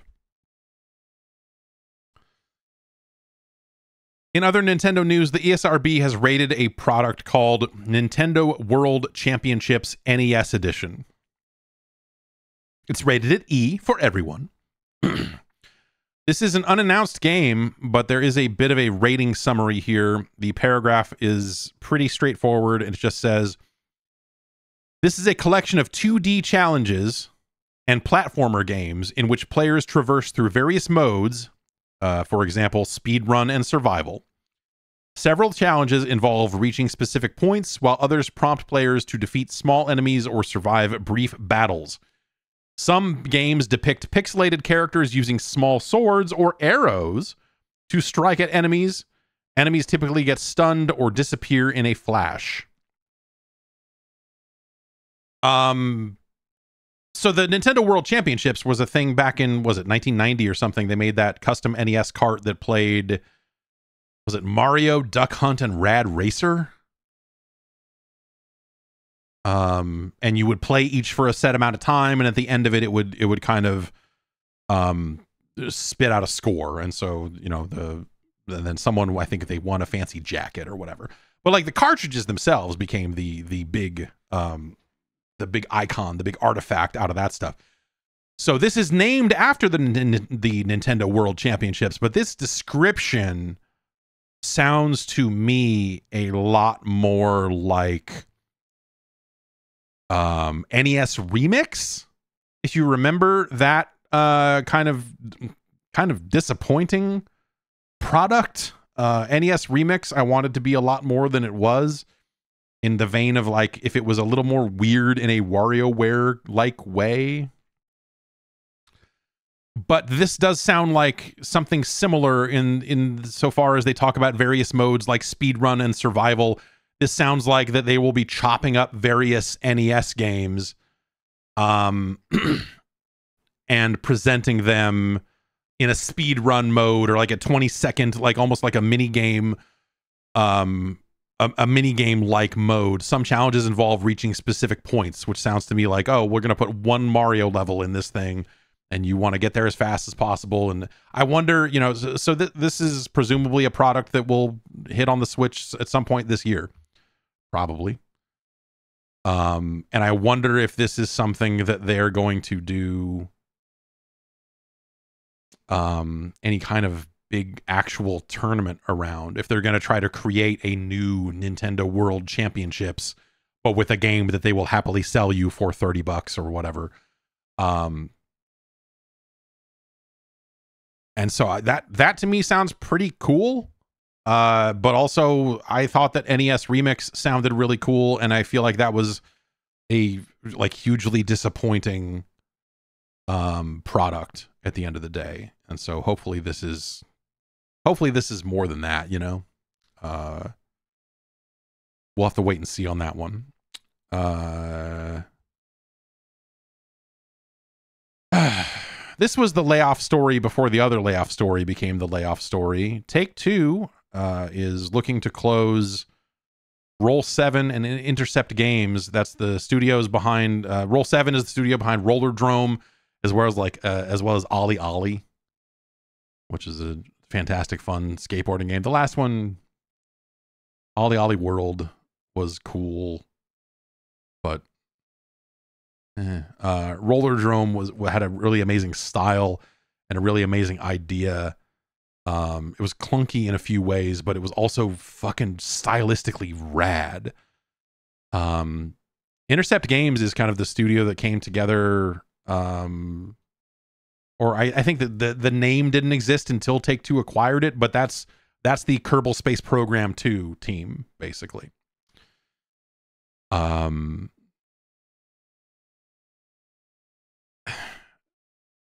and that game's still in some form of early access. So I, I, I think that Take Two has come out and said that there will still be yeah. So here's here's the statement. VideoGamesChronicle.com has the statement here. Um, let's see.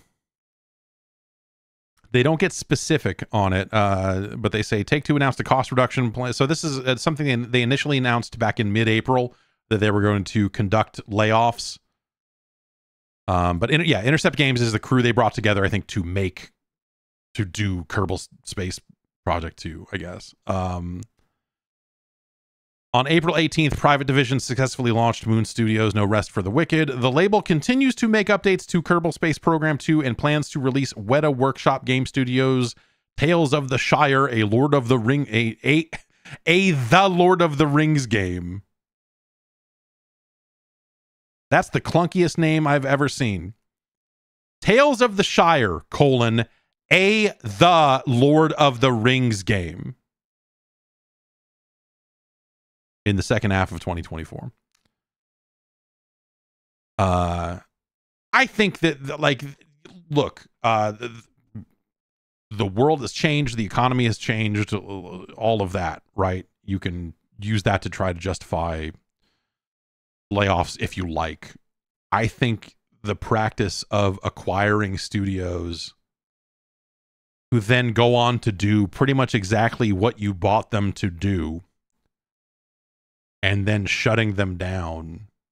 I, I mean, I guess the lesson here is don't fucking sell your studio unless you're unless you're done. And maybe the, maybe some of these folks were when they sold their studio.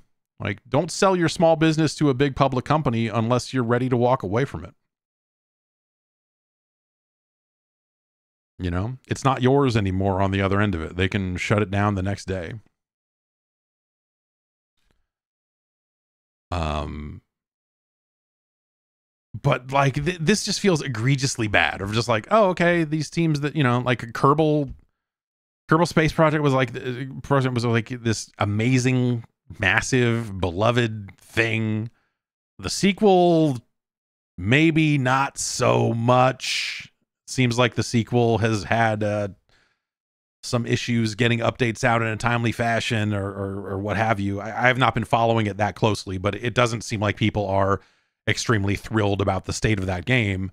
And I don't think that, you know, I have to imagine that if they are really laying off the team that was charged with making those updates, uh, that, that doesn't. Well, that doesn't sound great. Um, and the team, you know, like Roll 7 Roll 7 made no bad games. Roll 7 I'll, I'll, let me go look and, and and make sure that that is a true statement, but I think everything Roll 7 made was good. Let's look. They made Rollerdrome. That's a good game. They made OlliOlli World, which was cool. Maybe a little more OlliOlli than I needed because I loved OlliOlli 1 and 2 so much but OlliOlli World is still real good.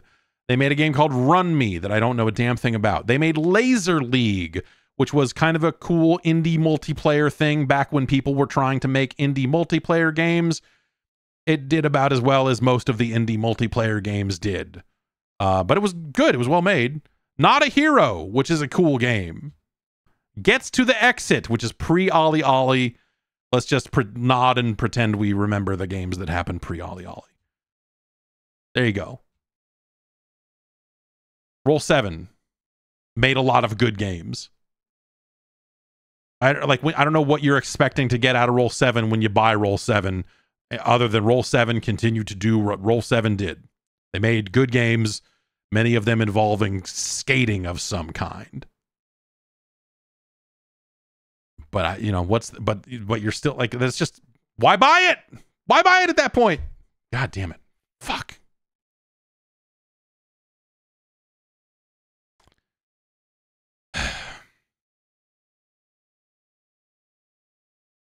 XDefiant is going to come out, apparently. If this is to be believed,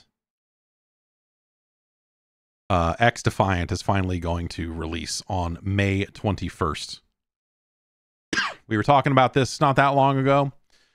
In terms of like, it felt like they had kind of gone dark on that game. They ran a server test a week or two ago. I played one or two matches of that and felt exactly the same way I have felt about it the last couple of times they have put out tests. Um, where I played it and was like, yeah, okay, this is this is decent. I don't think it steals any meaningful amount of players from other competitive shooters out there. It's it's free to play and it has a competitive shooter mode, whereas Call of Duty charges for that mode. Maybe that's a thing. I don't think it is. Um, but yes, they will be they will be launching on PC and console on May 21st, according to this. Um. Oh, the DedSec faction. If you remember correctly, this is the competitive shooter where all of the characters uh, are part of factions that exist in other Ubisoft games. And so you have a Far Cry 6 faction. You have Libertad in there. You have Echelon, so you have your kind of Splinter Cell faction. You have DedSec, which is the Watch Dogs faction. Uh, DedSec will not be playable for free at launch. You will have to unlock or purchase it. I imagine that is through some sort of battle pass style situation, or maybe you can just purchase it if you want it all the way. The factions do have um unique ults and abilities. So they're locking like gameplay differences behind um behind paywalls and unlocks and stuff. Which is a choice. Um 1, 2, 3, 4, 5, 6, 7, 8, 9, 10, 11, 12, 13, 14 maps. Five modes domination, hot shot, occupy, escort, and zone control. Um, hmm. So one of my one of my problems with uh, XDefiant was something that I thought it was just because it was a test and because they were doing tests but one of my problems with it was all of these modes are objective modes, and I don't think that their objective modes are especially great. Um, I don't think they feel especially fun to play. Even you know they're they're standard style of modes, but there was no team deathmatch option anywhere in there. And I figured that that was because they really wanted to test their objective modes and make sure that they were good uh, because if they had team deathmatch inside of their test, then everyone would just play that.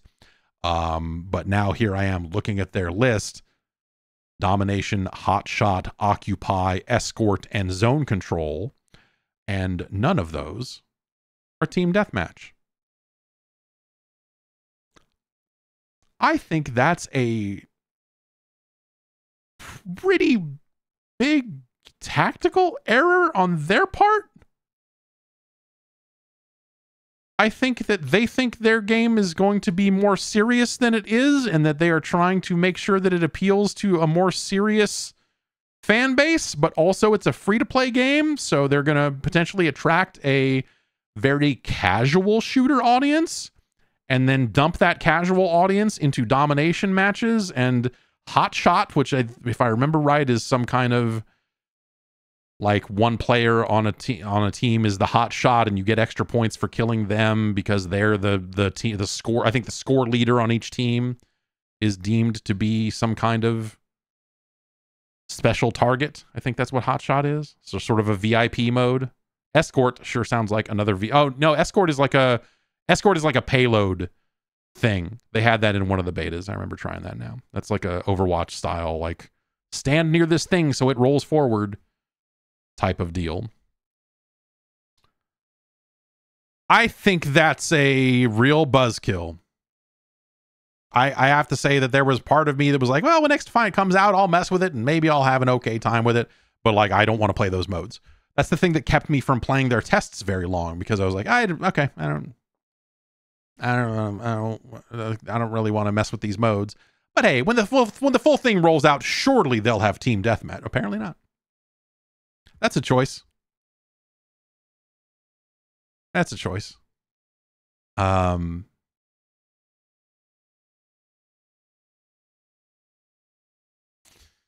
last little bit of news here uh, from Gematsu.com. I I just I'm fascinated by this. Remember, remember Let It Die. Remember the game Let It Die. Cool game, cool style. Uncle Death so on and so forth. Mushrooms and stickers and all that weird shit. Um, remember they made a sequel to it called Death Verse Let It Die, and it was not good. And it didn't have any of the cool shit uh, in it that Let It Die had. And then they they took that offline. the studio that made uh i guess that worked on both of these games Supertrick Games is now working on when they when they took Death Verse down the, it was one of those situations where they're like hey we'll be back we're gonna take this down and fix it because no one is playing it and um and it was like what i'm trying to even remember i played a few rounds of it it was like kind of a small scale battle royale thing with different zones and so it was kind of this melee focused PvP combat thing. And I played like two matches of it and won and then I uninstalled it. Uh so they are they are now working on whatever that game is, but I but I guess like the the bit here so i guess that you know it's it's a translated developer diary. Um and so they are in the process of remaking deathverse completely um and it sounds like they are going to try to skew much further in the direction of the original let it die here. Uh i'm looking at quotes here. There's a there's quotes here from uh, hideyuki shin who's the director of the game, says So in the past, we released Let It Die and Deathverse. This time, we're aiming to make a game that will please both fans of Let It Die and Deathverse. Oh, I don't know. I don't know that you only had two fans. I think there were more than two fans of Let It Die and zero fans of Deathverse. So I, you know, both fans is kind of. Um, to be specific with Deathverse, we created a game centered around player versus player, but there were a lot of things we felt could be improved. After considering those, we decided to make a game that, like Let It Die, has a clear gameplay loop you repeat many times, but also lets you fight against other players. We're trying to take the fun parts from both games to make something new. In short, it will be a rogue-like exploration game featuring both co-op and player versus player. Uh, it'll be taking the good parts from Let It Die. Actually, more accurately, it'll be using Let It Die as a base to build on. Um,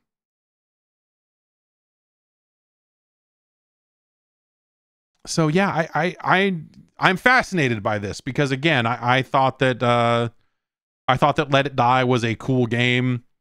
Deathverse was never felt like a sequel to Let It Die. It never felt like it had anything meaningful in common, especially stylistically, with the first Let It Die, and zero people were playing it, so it was impossible to find a, a match. Um, but they are following through. They they did say when they were taking it down, they're like, "Hey, we're going to we got work to do." And so it looks like they are doing that work. They shared a screenshot of it in this death in this dev diary, and um, well, I don't know, but I, I that's that's a game I will look out for. That's like I will. I will definitely look at that thing and see what the heck it is. Especially, you know, they're gonna add co-op to it. That's kind of a weird um thing. Not that weird for Deathverse, but weird for Let It Die, I guess I would say. I don't know. I don't know. I don't know. Anyway, that's it for the news. Fucking brutal, man. I, I the everything feels off. And i'm trying to you know it, it's hard um one of the hard things about um kind of like working out of your house and one of the hard things about like the, the way everything is now you know with much fewer events and and fewer opportunities for everyone to get together in a single location and go like hey how's it going? Um it, it's some it's it's a little bit harder to get a read on that as it used to be. Um so it's been like uh, several days of like me having online chat messages with people and going like, "Hey, how's it? Is this? It's fucking weird. It's it's not just me, right? It's fucking weird out there, right?" And like, "Oh yeah, it's it's fucking weird. It's real. It's real weird." Um, I I just yeah, I I, I wonder what Summer Games Fest is going to be and what it's going to have if it's going to uh, restore the feeling if it's going to you know like have a, a, a, good number of announcements like this xbox thing now right? I mean last week people were talking about the xbox showcase and it's going to have more games it's going to have this and that and you're like okay well what you know microsoft has to ship all the games they already have announced like what you know what we, what the fuck is happening? Um it's hard to feel optimistic about um the well I, it, it's it's been this way. It's been this way i guess. But like as these things continue to spiral apart and and, and you know these these layoffs of small teams at 2k and uh and the the microsoft stuff like it is it is harder to feel good about the machine it's hard to feel good about the traditional publisher system the the kind of standard publisher developer relationship the the the old game industry. Um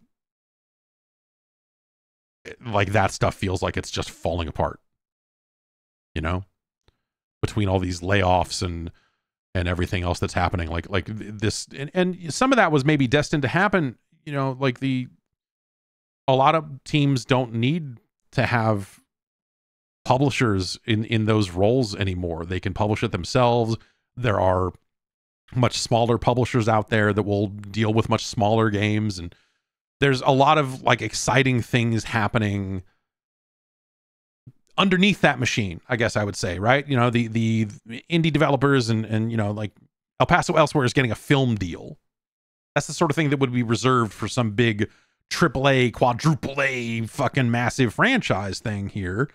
But now we live in an environment, or, or we, you know, we operate in this environment where like these smaller IPs can still kind of make those sorts of waves. And, um, and so I, I don't mean this to say that there's no excitement in video games because I think there's actually a ton of fuck. You know, Hades 2 just came out. It's fucking awesome. It feels great to play. Uh, there are a lot of you know I'm I'm still working my way through Minishoot' Adventures, which is uh, some of the most fun I've had playing a game in in you know the last year or so. Dragon's Dogma 2 came out this year. It's it's crazy. It feels like that it feels like discussion of that game was not as loud and as long as I maybe thought it would be. I, it feels like that game kind of came and went um in a, in a weird way. I still need to play more Dragon's Dogma 2. Um I figure I'll have time later this year. Cuz it doesn't seem like anything else is coming out. Um and uh yeah look i you know i, I don't want to be doom and gloom i think is, is my point here because i think there are there are a lot of you know hey Divekick got patched on pc the assets are not as aliased as they used to be and that's a big win for everybody. There are a lot of great things happening in video games. Um but it's happening down here you know? The the the companies that are up here the public companies and the the the big traditional publishers like they just feel like they're floundering. They feel like they it, it feels like a fucking mess. They feel like they're getting eaten alive. And that's not the case per se but it sure as shit feels that way sometimes with the rapid pace of these layoffs and all this other kind of stacked up bad news and uh, account systems and data acquisition and this and that you know like all the all that capitalism all them live service games uh, just feel like it's all crashing down sometimes and and it doesn't feel good. So like, you know, like I'm in the middle of like booking appointments with like some of those major publishers and and not knowing what they're going to be showing in some cases and just being like, I don't I don't I don't know that I'm like normally that would be a time for me to really get my hopes up about like, oh, I wonder if they're gonna have this and this and then now I'm just like, I don't know. They'll probably announce two things and cancel one of those things in two years and who knows? I mean, I don't know. Like Skate Four isn't even out yet, and this and what's that even gonna be? So what what else is you know? Like Warner Brothers shuts down movies left and right. Like, what's to stop them from doing that with games now? Like, what you know, there's so many different. It's just a lot of stuff. I don't know, like what's going on with big publishers and, and all that stuff. It doesn't. It does not feel good. It does not feel good. But um, but yeah, I, I don't know. I, I, I don't I don't mean to say that like that that that's not how I feel about all of video games. I just think that like the the energy, the the positivity, the good shit happening in video games is happening in much smaller projects and much smaller products, and that's awesome. Uh, but sometimes I need the big, expensive, weird thing. You know, as someone who was raised on games like that it makes me sad that games like that feel like they're just not like they're you know they're they're getting fucked up one way or the other. They're you know like the the big games have gotten too big and and whatever else. That said you know like i i still re- i want to see uh the this this big last destiny expansion. Um I want to know for sure that the final shape is indeed a trapezoid. If it's not, I'm uninstalling the game again. I want the I want it to be the sweetest trapezoid I've ever seen in a video game. Um Do you think that the uh, extraction shooter thing that it was teased as like suddenly being a thing because it felt like a lot of those were getting announced, do you think that that will ever materialize? You know, we haven't heard about Marathon in a long time. They've had layoffs since then. Um, like I'm trying to think what the other extraction shooters that got kind of announced. I, but it feels like a lot of that is fizzled. It feels like the the excitement about that specific subgenre um has has has absolutely fizzled out as people thought that that was going to be the next big thing and then whether it's like I don't know. Everyone's fucking probably still pissed at Tarkov. Um, that rainbow, yeah, yeah. I don't know. Just like that. I, it feels like that there was discussion about extraction shooter type stuff for six months as like this is going to be the ne- next big thing, and then like everyone just kind of shut the and, and maybe they just shut the fuck up and got back to work and all this stuff will still come out but like uh, it felt like we announced a lot of those in in uh tight succession. And i don't know are if the players actually want that thing want that genre to happen or not. We'll see. I don't know. I just just thought of that because i just like it, it, it felt like that was it felt like the term extraction shooter was suddenly everywhere in terms of new projects getting announced. I mean, Marathon was like probably the highest profile of those, but yeah, what is it like Dead Drop and some of that other stuff. Um, and of course, Tarkov feels like it never really broke through. There's probably some mainstream version of Tarkov that humans might actually play, but maybe that's Marathon or maybe that's whatever. Yeah, I don't know. Uh, but then, but then everyone who likes Tarkov just kind of got fucked over by the makers of Tarkov. So uh, maybe that will maybe that will put a bullet in that thing once and for all. I don't know. Um, let's get into some emails. Podcast at guard.bike is the email address. You can send me uh, some emails. Much like it's loading, it's loading, it's loading.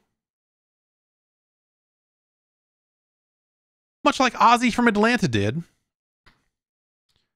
Says, looking at today's news about Microsoft shutting down Tango and Arkane, it's made me reflect on the last 15 years of their business.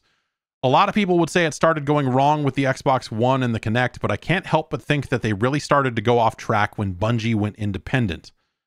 I forgot the specifics, but it's just crazy to me that they let that happen. I'm imagining an alternate reality where Microsoft kept Bungie and let them develop Destiny as an Xbox exclusive and how much differently that might have made the generation play out.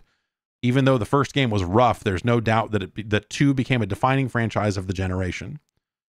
Any thoughts about how impactful that business decision really was or not in retrospect, especially considering now that Bungie has ended up a Sony owned developer? Um I don't think it would have made a huge difference. Uh, it, okay, in in this scenario that Ozzy is pitching, he's saying we're going to keep that that Microsoft keeps Bungie, but also allows Bungie to stop making Halo. And so Bungie goes on to make Destiny, and they just make it as an Xbox exclusive. Um, so you still have the formation of 343. Maybe it's just called Bungie Team One or something. You know, they don't spin up a different building for it because initially a lot of 343 people were Bungie people who decided, hey, we we want to keep making Halo games, so we'll come over here and do it. Um, and so they stayed with Microsoft ultimately. Um, I think if Destiny had been an Xbox One exclusive, it would not have done nearly as well as it did. And so I think ultimately, if you had Destiny locked up on Xbox, and you had Bungie making Destiny only for Xbox, I think it would have come and gone by now. I don't think it would have had the impact that it needed to. And I think that it would have been something that, uh, you know, maybe you would not have gotten Destiny 2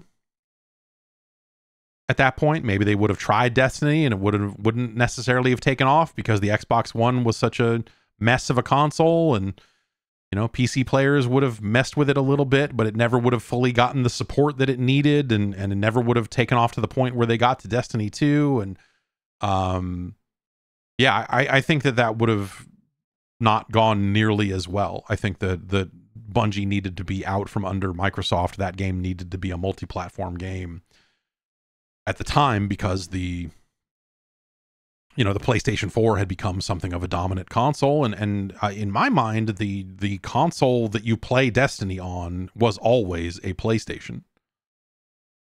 For as much as Halo is an Xbox game for whatever reason until it you know until Destiny 2 came out on PC and all that other stuff and um and now I just play it on PC with a PlayStation controller uh I in in my mind because of when it shipped because of what the dominant console was at the time Destiny just always reads as a PlayStation 4 game to me. Um you know, and and part of that is because of the way they marketed it and the way they the way they positioned it and, and all of that. But like that's that's just how that always felt. Um so I, I don't know. Yeah, I, I think if it had only come out on Xbox, then it would have been trapped on a console that no one wanted to buy uh, and and the Xbox One would not have changed Microsoft's fortunes on the Xbox One. Um, but it probably would have hurt the growth and the health of Destiny.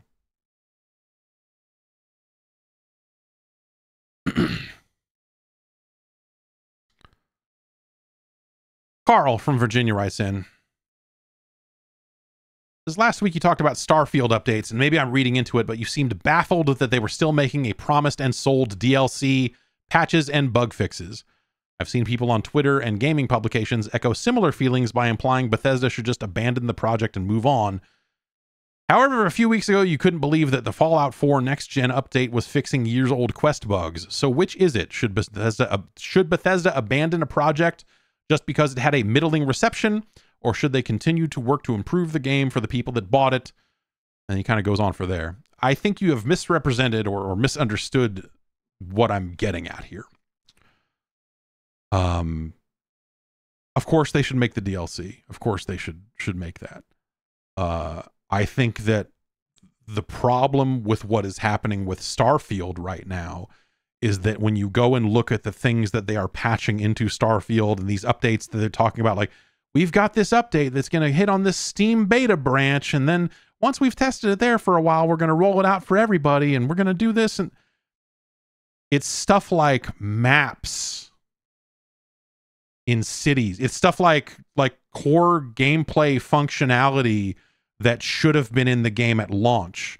It's stuff that anyone who played that game and dropped it already will never see. It's quality of life stuff that should have been in the game from day one. It's a lot of stuff that that game was noticeably missing at launch.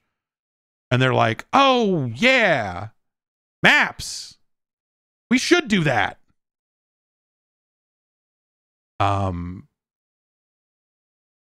and so my incredulity here is at the idea that they're out there talking up this this next update is going to be awesome.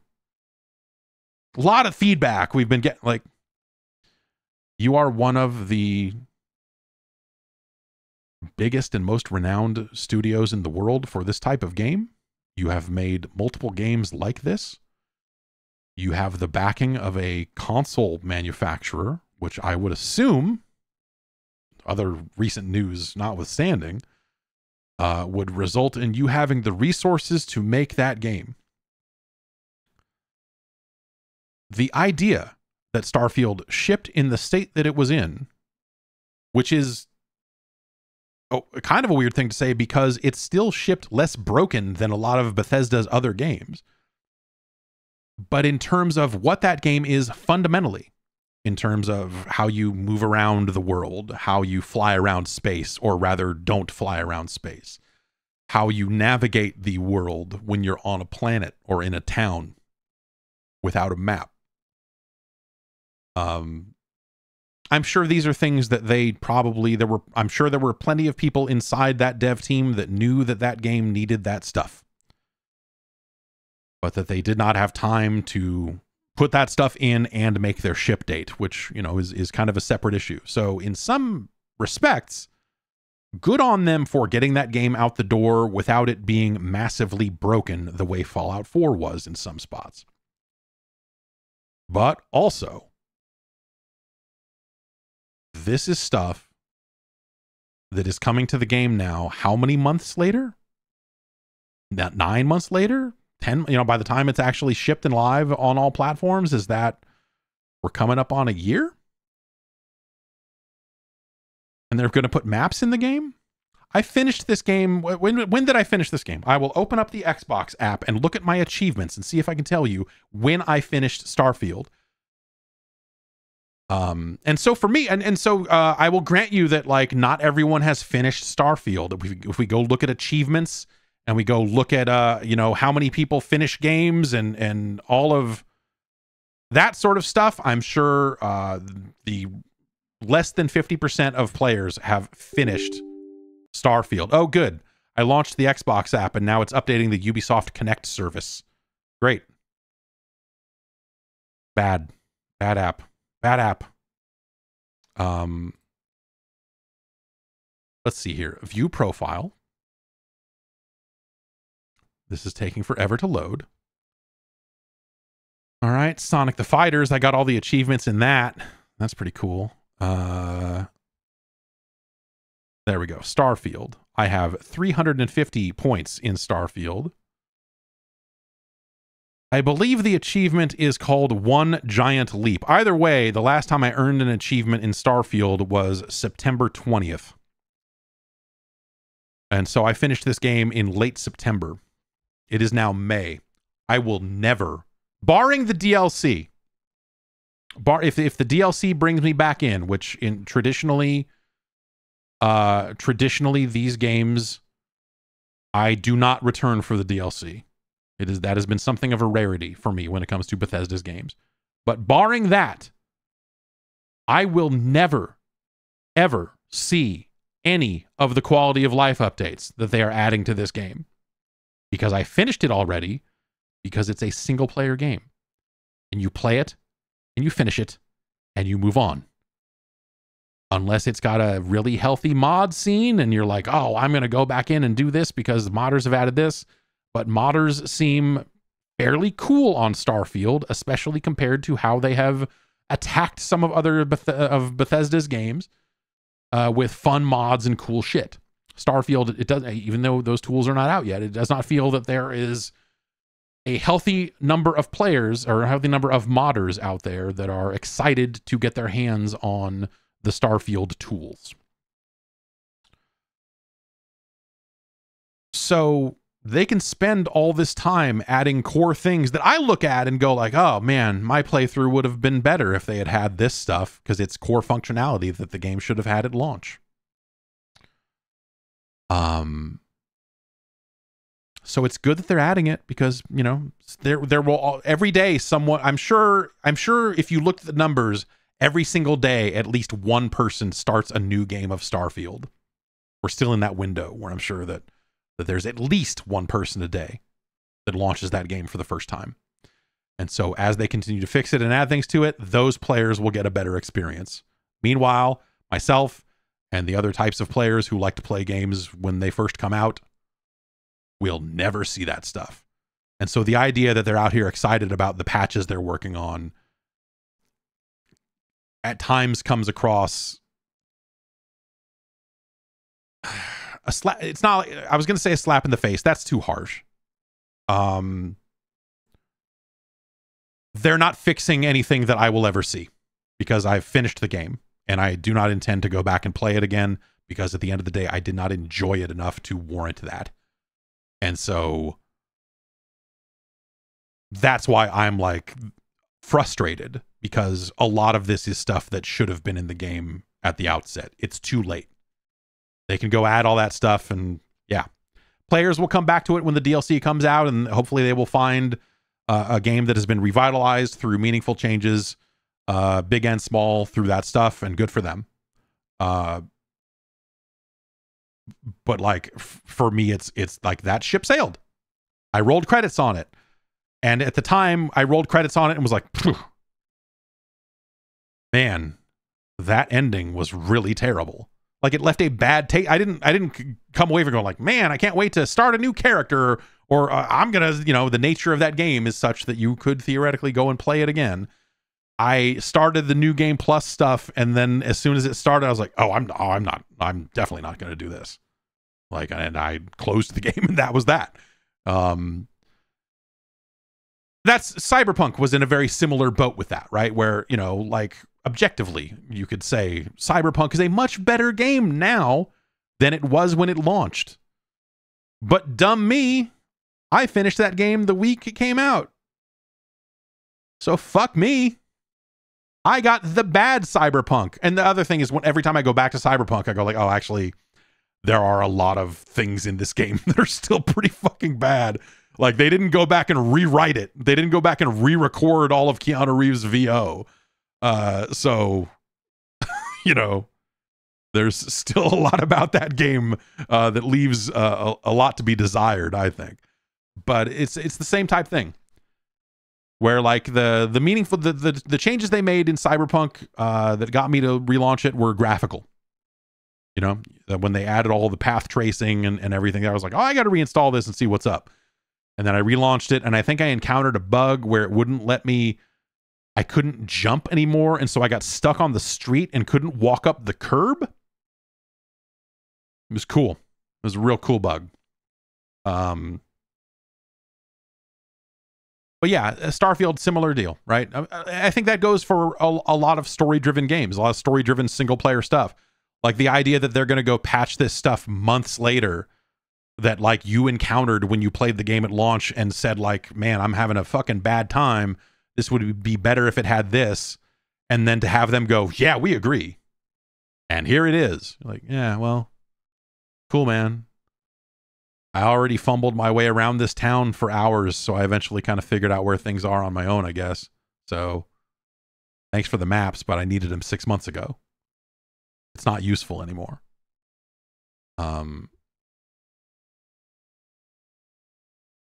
you know, every game's going to need patches, right? Nothing is going to ship 1000% clean and and never need a, a single patch, right? We're we're past the games are too complicated and and for for that to ever be a, a real reality. Um but uh, yeah, I don't know. And you could argue that like the right thing to do in those situations is to not play games at launch and wait for those fixes to hit. But also all these other games well maybe this is the the right year for that. Maybe this is the year that that pays off because a lot of stuff got delayed and and whatever else. Like maybe if you haven't played starfield yet you're like yeah i'm gonna play it when it's good. I don't know. I don't know. It feels bad when those types of updates hit because i, I know i'm not like alone. I, I know that i'm i'm i'm not like the i'm probably not in the majority on that um when it comes to shit, I forgot to do the one thing that we wanted to do here, which was look at the percentages on that. Uh, let me relaunch the Xbox app and see if it see if it launches the Ubisoft client yet again. Um, but I want to see the percentages on that uh, Starfield achievement. Let's see here. I have 2% of the achievements in Microsoft Sudoku. Here we go. 9.96% uh, of players have the one giant leap achievement in uh, in Starfield, which I believe is the one you get when you finish the game. Um, though, I mean, whatever. Uh, you, if you want to make yourself crazy, achievement percentages is is a really good way to do it. Forty three percent of players reached level five in Starfield, and I, I bet that Game Pass actually really fucked up. Like achievement percentages were already really crazy, and I bet that Game Pass like lowered all those percentages even further because now you have people that don't buy the game that just cruise in, launch it once, and go eh, and and move away. Um, and so they never, you know, 43% of players reached level five. This is on the Xbox achievement. So this would be Game Pass. This would be on an Xbox. This would be PC with Game Pass, but not PC with Steam. Um, which presumably would be the largest cohort of players. I suppose it's possible that Steam sales outpaced Game Pass users, but that seems incredibly unlikely. Um, I got a message from Xbox. Back up your best gaming moments. Game captures on the Xbox network will be deleted after 90 days. Deletions start May 30th. Be sure to back up captures you want to save on OneDrive or on an external hard drive. To get started, click Learn More below. I'm okay. I only ever used it to capture clips of bugs when I was reviewing a game. um,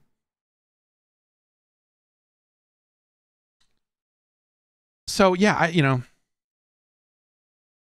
that's that's my problem with with work like that that happens after the fact is you have a lot of players who have like in in some cases I would say probably your most die-hard players, your most fervent audience gets fucked the most because those are the ones that are going to go out and buy the premium edition of the game. Those are the ones who are going to go out and play the game uh, obsessively at launch. And those are the ones that are going to have the worst possible time with your game because all the patchwork you're doing, um, a lot of those updates sound good. I, I, I read the list and, and, and, you know, see what Todd Howard is out there saying and go like, oh yeah, man, Yes, that's all stuff that game could use. You've identified it. So did I when I played it at launch. When like, fucking come on. Um. So it's annoying, and and that's something that I think that Bethesda has been really bad about for a while. That is something that they have definitely, you know, this is not the first time that, that that's been the case with their games. Uh, and I think that's incredibly frustrating. And you can chalk that up to like that's the nature of video games, right? Everything gets patched, so everything, you know, you're never going to play the best version of a game day one. Or uh, especially three days of early access is somehow an even bigger scam. But um, such is life. We like to play things when they're new. There's nothing wrong with that. That's a very natural uh, feeling to have about a media you care about. So, so I don't know. Um, this I, if you're you're probably watching this this looks like it's still recording here the archive but uh some people are saying that they have that they're getting some kind of network error. Uh okay some people are saying that it's fine there so it looks like some people the stream died for them live but but i assure you i am still here! Uh let's move on to the next uh emails here Charlie in Essex writes in and says, Were the conflict games actually good? Like Conflict Desert Storm, Conflict Desert Storm 2, Conflict Vietnam, and Conflict Global Terror? I'll just answer you right here. No. uh, my friends and I loved them at the time on Xbox, but they're never talked about. We had hoped that they would be included in the push for backwards compatibility, but it never came to be. So were they actually good, good games, or were they middle of the road shooters in an age of middle of the road shooters? Uh, they were middle of the road shooters in like they, those were games that felt like um, the conflict games were games that felt like they almost didn't belong on console. They were like trying to be this more tactical, uh, uh you know, the, the, more of this uh, serious shooter, but um, but I they always just felt so bad to me. I don't know. I don't know.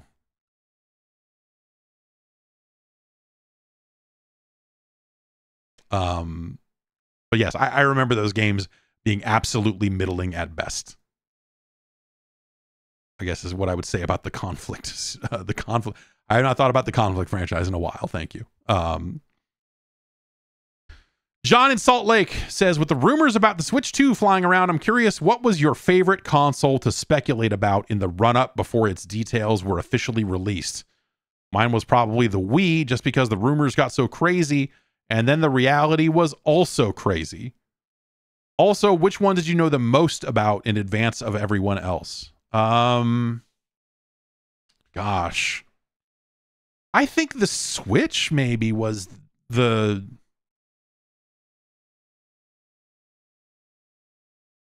I think this it's the the Wii I think was interesting because you found out the details because they announced them, you know, and, and you saw the screenshot of the controller, which you had maybe heard, you know, heard little bits and pieces about, but the controller's weird, but never really specific. And then you see the picture of it, and it's still hard to wrap your mind around what the heck is happening there. Like, like what is this? What what is this controller? What how am I even supposed to use it? Um, and uh, yeah, I don't know. The the the Wii was definitely a weird one. The Switch was a weird one because again, because it was hard to wrap your mind around what it was they were doing. And then once you started hearing details about like, hey, it's a handheld thing, but also it's a TV thing, you had a lot of questions about like, uh, okay, is it like the Wii U where the handheld is just a, a transmitter or just you know a dumb terminal? Um, or is the is the whole thing is, is, there power in the dock? That was ultimately i remember sending that specific question to someone. I remember having a, a conversation with someone who was at a third party who had seen it uh, and was telling me about it. And even at that point he didn't know. He was like i, I think so. I don't actually know uh, you know because because that thing for as for as much as the you know when they give us debugs, they want them chained to a desk. At that point, they wanted dev kits to be chained in a room and then only people who were on a need to know basis were allowed in that room. um but uh yeah, I don't know. Like that was definitely the the the Nintendo stuff I think is generally the the stuff that's people speculate the most about. I I, I don't remember I think with the PlayStation 5, a lot of the speculation was around hearing details of backwards compatibility and hearing details around oh, with the PlayStation 5, they uh, I remember the story going around for a little bit there was they really want to try to find a way to honor the full legacy of PlayStation by having it, you know, and by maybe having it being backwards compatible all the way back to the beginning. And that any disc you put in it will run. And I remember at the time being like, that's fucking crazy. If I don't know how they pull that off, that would be broken because PlayStation 3 games are so weird. Um, the architecture required to do that would be strange. They could build emulators for one and two. Three would be a little tricky, but not not impossible. Um, and so then it was like, well, are they going to make it stream this stuff? Are they going to do this or that? You know, but there, there was a little there was a little PlayStation 5 speculation there for a while, specifically around um it being fully backwards compatible all the way to the beginning of PlayStation. And that ended up not being the case, obviously. But like that was I, I remember there being some very loose talk around that and then trying to piece that together and go like, how would they even do that? Like four, they could certainly do. One and two were easy enough to emulate in software that they could totally do it if they wanted to. It was just a matter of like nailing down how would they do three, because emulating a PlayStation 3 at that point was not as well done as it is now. Like on a PC, PS3 games are fucking incredible these days. Um, like the compatibility is, is really really sharp. So you know it, w- it would have potentially been doable. Um, but I don't really know. Uh,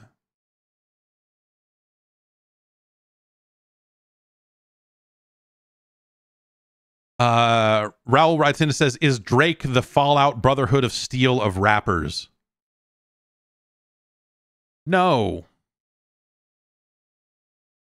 No, no, because like Fallout Brotherhood of Steel is like the forgotten console only offshoot of a beloved franchise, right? I mean, that's not. Drake is the Call of Duty of rappers. He's the guy who sells really well, but also the guy that anyone who is like really invested in the medium thinks is total shit and is uh, commercial and overly commercial. And that's how I think a lot of very dedicated video game players. That's exactly how they feel about call of duty. You know? Um that sounds like more of a burn on call of duty than i intend it to be but but yeah i mean that's yeah i mean drake sold a lot of i didn't even sell a lot of records. Drake did a lot of streams. A lot of people clicked on songs by drake i guess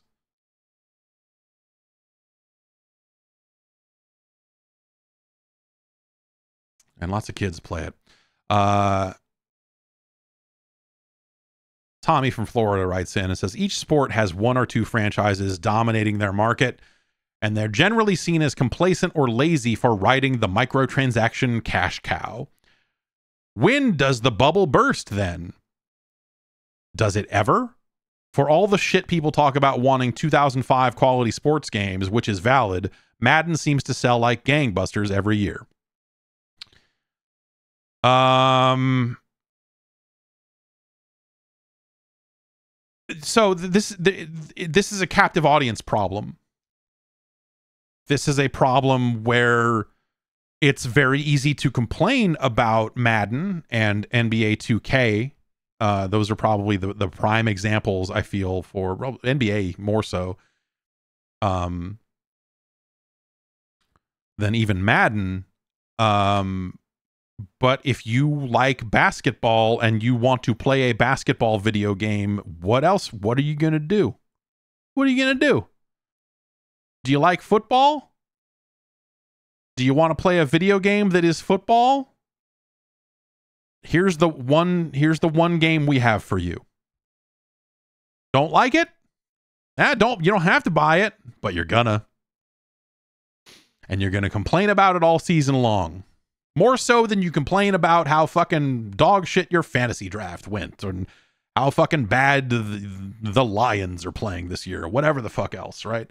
Um they have you. They don't have to make the games better because you keep buying them.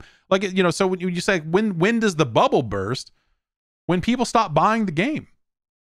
There's literally no reason for these games to improve meaningfully or change the way they're doing business, short of government intervention on some of these microtransactions. But there's no reason for that game to get better as long as you are buying it every year. If uh, if the sales dropped a lot, then they would have to like they would have to look at that and go, what happened? They would have to look at it and go like, what what went wrong here? Is it because of something we did, did, did is football not as popular? Is what you know they they'd have to dig deep on what the fuck happened, and maybe they would eventually come to terms with like, oh well, yeah, I mean the game's been you know people have been mad about the game for a long time and they decided not to buy it. But this is similar to the same conversation that you know we have about uh people um who complain about like say a kernel level anti-cheat but will happily go play those games anyway. You know it's like you're like okay the only message you can realistically send in these situations is is i'm not buying this game that uh, that a company in, in these sorts of positions will understand um, if you think that Call of Duty has fallen off, if you think that you know, like, then then don't buy it. If you want those games to be better than than I, these annual franchises that feel like they're the same thing or slightly worse year in year out, the only way to send a message is to not play it. You know, for a free to play game, that's the that's the message, right? Is like don't spend time, certainly don't spend money, don't engage with it don't talk about it online. I wouldn't even complain about it. This is the same advice I would give to people that don't like things about wrestling. Um, the move is not to get online and complain about Chris Jericho. The move is to never talk about Chris Jericho. The move is to have zero reaction to anything he's involved with and just be like, Ugh. The move is for the crowd to be dead when Chris Jericho has walked is is is out in front of the crowd. Um, and I think it's the same thing with video games.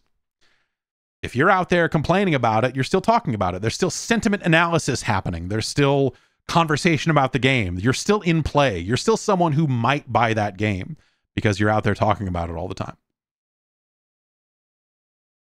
Just move on. Get into something else and talk about that instead. I think that's that's the only way to really send that type of message in, in those sorts of situations. Is to just be like, okay, this thing is not operating at a level that I'm happy with, and so I'm no longer going to engage with it. I'm not going to sit here and complain about Madden every day on Twitter or anything like that. I am just going to not play Madden and I'm going to move on. I'm now one number down on all of their charts. And if there are enough people in that bucket where like, oh, really seems like online chatter about Madden's just kind of dying off. That's way more terrifying to them than people are mad about Madden because people who are mad about Madden are passionate about Madden, meaning they will probably buy Madden anyway. So I think if you if you if if you want to send messages like that to about about these kind of ongoing games, any sports game, not you know Madden, I'm just I don't know. Is Madden? People are mad about Madden, I assume, because pe- people are mad about everything. But but I know people have been mad about NBA 2K quite a bit. Um, but as long as those games are selling, and as long as the you know the microtransactions and cards or whatever else, as long as Ultimate Team is still doing numbers or whatever, they don't have to care. Why would they? You're still you're still doing it. They hope that you're in a group chat about their game. And so if you're the one who decided you're not going to buy it that year, you're ostracized from a, your group, you know? You have to buy FIFA this year. Because what else are you going to do? That's the only thing that you and your friends talk about. You know? I think the only way on that stuff is to just disengage from it. Um, but but I and I am I would say I'm guilty of this in some cases as well. But like because that's a very human thing. Uh, is hey, you also are gonna play some stuff and and be mad about it. you know, you're gonna buy it anyway because you like the thing just enough to where you're gonna like, well, all right. Like the number of people that buy the WWE game every year and then just go like, oh, it's the same fucking thing again. Um, they've been a little bit better lately, I guess, for some folks. Uh, in in that particular case, but like, uh, I I think that if you if you are frustrated by a thing, if you think a thing is bad and you actually want it to get better, you have to be willing to not play the thing. That's it. Um, and that means don't don't play it when it hits Game Pass either. You know, like like oh, it's on the EA Play free tier now, so now I'm gonna go play Madden or, or whatever. That's still a number that you become a person that they might convert into someone who buys it at launch next year or upsell a higher tier subscription to. You're still in play at that point. I think users have to completely fucking vanish off of their their telemetry, you know, their their numbers, their whatever. It just has to just, just be like, up. Oh, this many players vanished from our purview this year, and we don't know why. We need to figure out why. And if they come to the conclusion, hey, it's because people are mad because the fucking game sucks, then maybe the maybe those developers get more resources. Maybe those developers get resources to make a better game and fix more the following year. You know, maybe the the ultimate team stuff changes uh some of its ways if the numbers go away. But like that's not how it's going. so, uh, you know, like in, until stuff like that happens, you're not sending a message to the, you know, like getting online and being like, I'm mad about this. Like, okay, cool. You're still, still playing it, still mad about it. That's good. You're passionate about the thing. Uh, let's see. Stephen from Adelaide, Australia writes and says, Where are all the caveman games? Damn it, where are all the caveman games? Uh yeah, right? Uh used to be a lot of super bonks and Joe and Mac and Chuck Rocks around. Where have all the prehistoric men gone? Is the world ready for a caveman ninja souls like?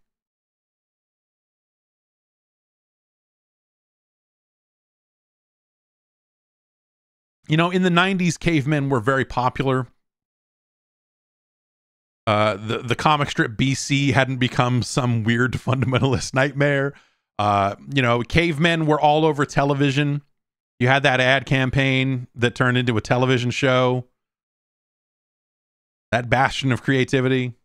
Um, you know, the Flintstones were still kind of on the air. Uh, more than they probably are now. And uh, cavemen were just a fixture. But nowadays, you just don't have that. That's uh, yeah. Uh, uh, Fibosh in the ch- Fibosh in the chat asks the the relevant question here: Is Horizon a caveman game? Kinda.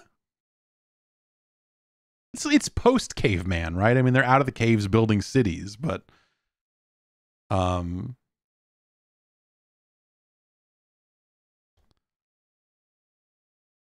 yes, no, I mean Captain Caveman. I always thought was a cool cartoon character, but there ain't. Yeah, you just there ain't cavemen anymore, and they're not mascots. They're not cool mascots anymore either. So yeah, are a lot of survival games basically caveman games? I mean, I guess yeah. I mean, I guess in a lot of ways we're just fucking I guess we're just building the caves ourselves, right?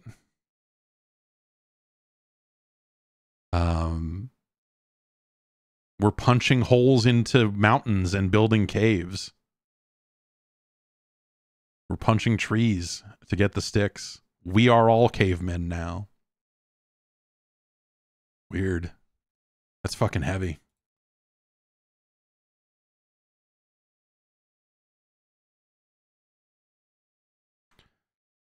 Oh, let's see here. Vivian in Vermont writes in and says another gaming podcast I listen to likes to joke that the Persona series starts at three. For as silly as that is, yeah, uh, there is some merit to the argument that franchises gain real cultural relevance with entries far from the first. What are some games you would say are the start of these series? Uh, and then and then Vivian lists a a bunch of um a bunch of franchises for us to go through. But yeah, I, yes, I mean, yeah, that happens. I mean, games certainly catch on later.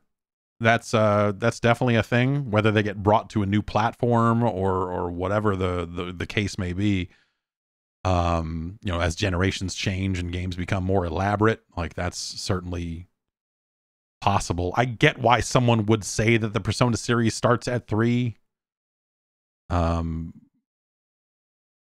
because yeah i mean modern persona is based on all of the stylistic stuff that they started in 3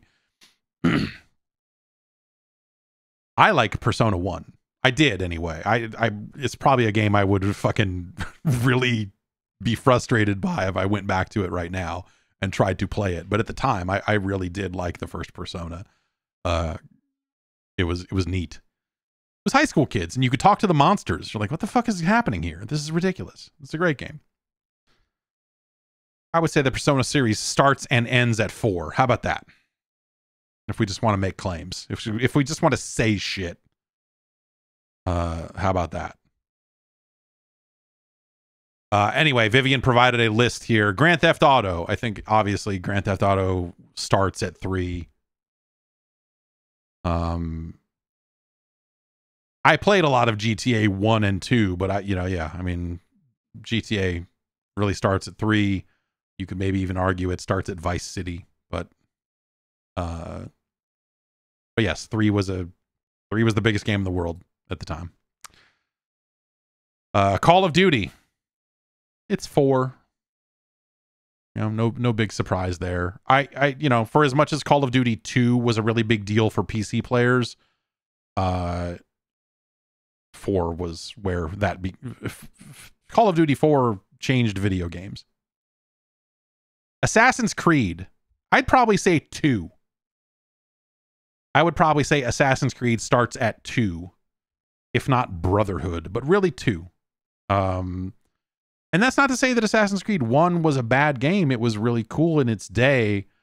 Uh, I liked the first one as well, but it, it just kind of, uh, I think a lot of that style of Assassin's Creed shored up in the uh, in the AC2 games that happened around there, and that and Brotherhood and, and, and that before you know before three and then it ended at three. Then three came out, and you're like, all right, well, I guess that's that. Um, Tony Hawk's Pro Skater. I think that started at one. I, I, I, that game was wildly popular, and it continued to be popular on the PlayStation Two, uh, and then eventually it fell off. But like, yeah, I'd say one. Tekken. Tekken I mean, I, Tekken 1 was a massive game for PlayStation. Tekken 3 came out at a time when there were way more PlayStation 1s out there. And so it probably, I'm sure that that was a much more widespread game because of how big it was at the time. Um, but yeah, I, I guess I would probably say Tekken 3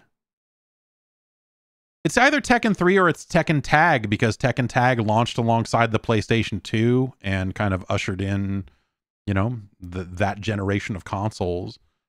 Um, but I feel like Tekken has been rather even uh, over the course of its run. But uh, there's stuff about Tekken 1 and 2 in terms of character movement and and it's like the side steps and how you get up and like there are just parts of of the early Tekken games that that are missing some of that that makes it a little harder to go back to these days. Fallout.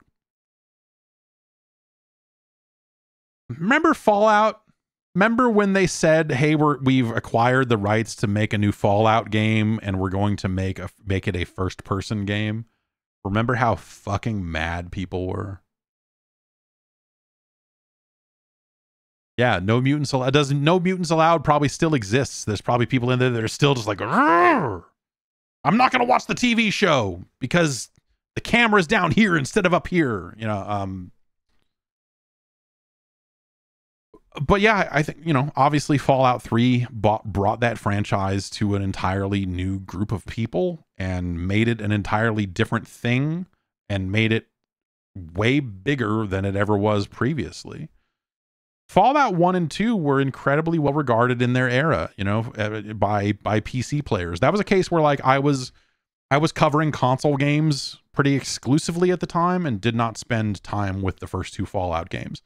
People talked about them being good and whatever else and and I was just like, "Okay, cool, man. Like I'll maybe I'll play that someday." And then never really never really gave those games a look uh in in their original era anyway. Um but yeah, Fallout 3. Uh, for Street Fighter, it's Street Fighter 2. Yeah, it's it's it's Street Fighter 2. It ain't Street Fighter 1, that's for sure. Halo.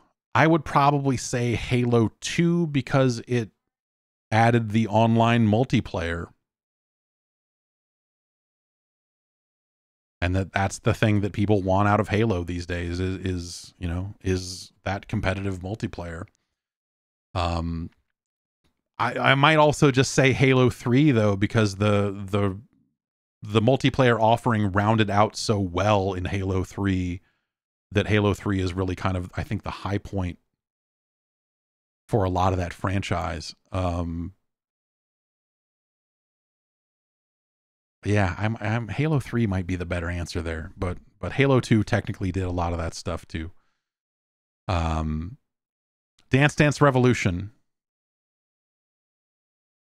I would say third mix is where Dance Dance Revolution really kind of hit its stride. Um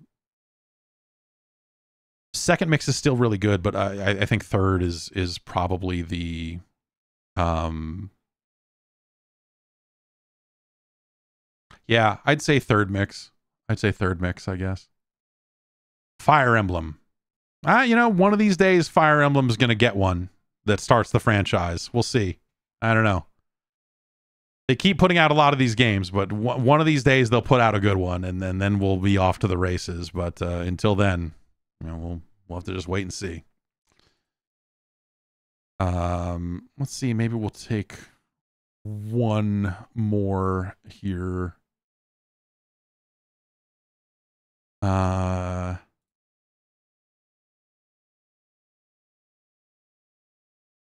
Nick from Iowa writes in and says, I'm sure as an important businessman and father of three, you don't have a whole lot of time for watching streamers on Twitch. When you do, would you prefer this almost sounds like a survey question.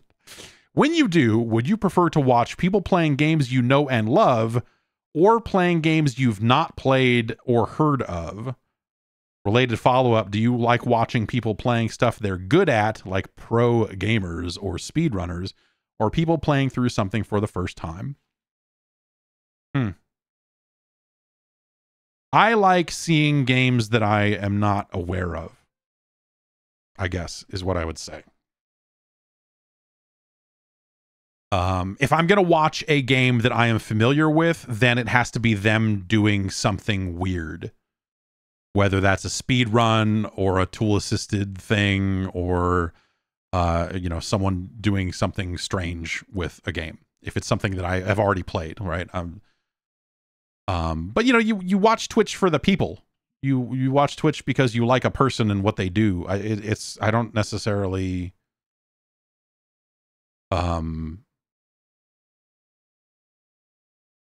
yeah I, you know I, I i i look for for individual folks some of whom i know and communicate with elsewhere and some some i don't i guess but um there's I, I guess there's really no one i watch regularly that i don't like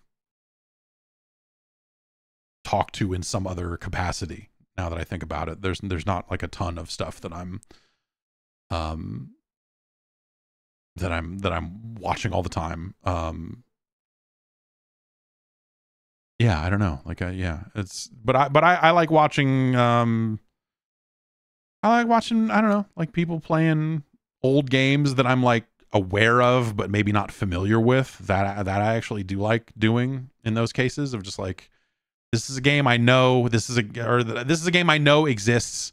It's a game that I maybe spent 10 minutes with or maybe have never actually played. Let's see what it's all about. Like I think that's kind of cool and kind of useful at times um but yeah I, I don't I don't necessarily spend a ton of time hunting around and seeing what different people out there streaming are doing. Sometimes, eh, occasionally, I will, but um, but that's that's pretty rare.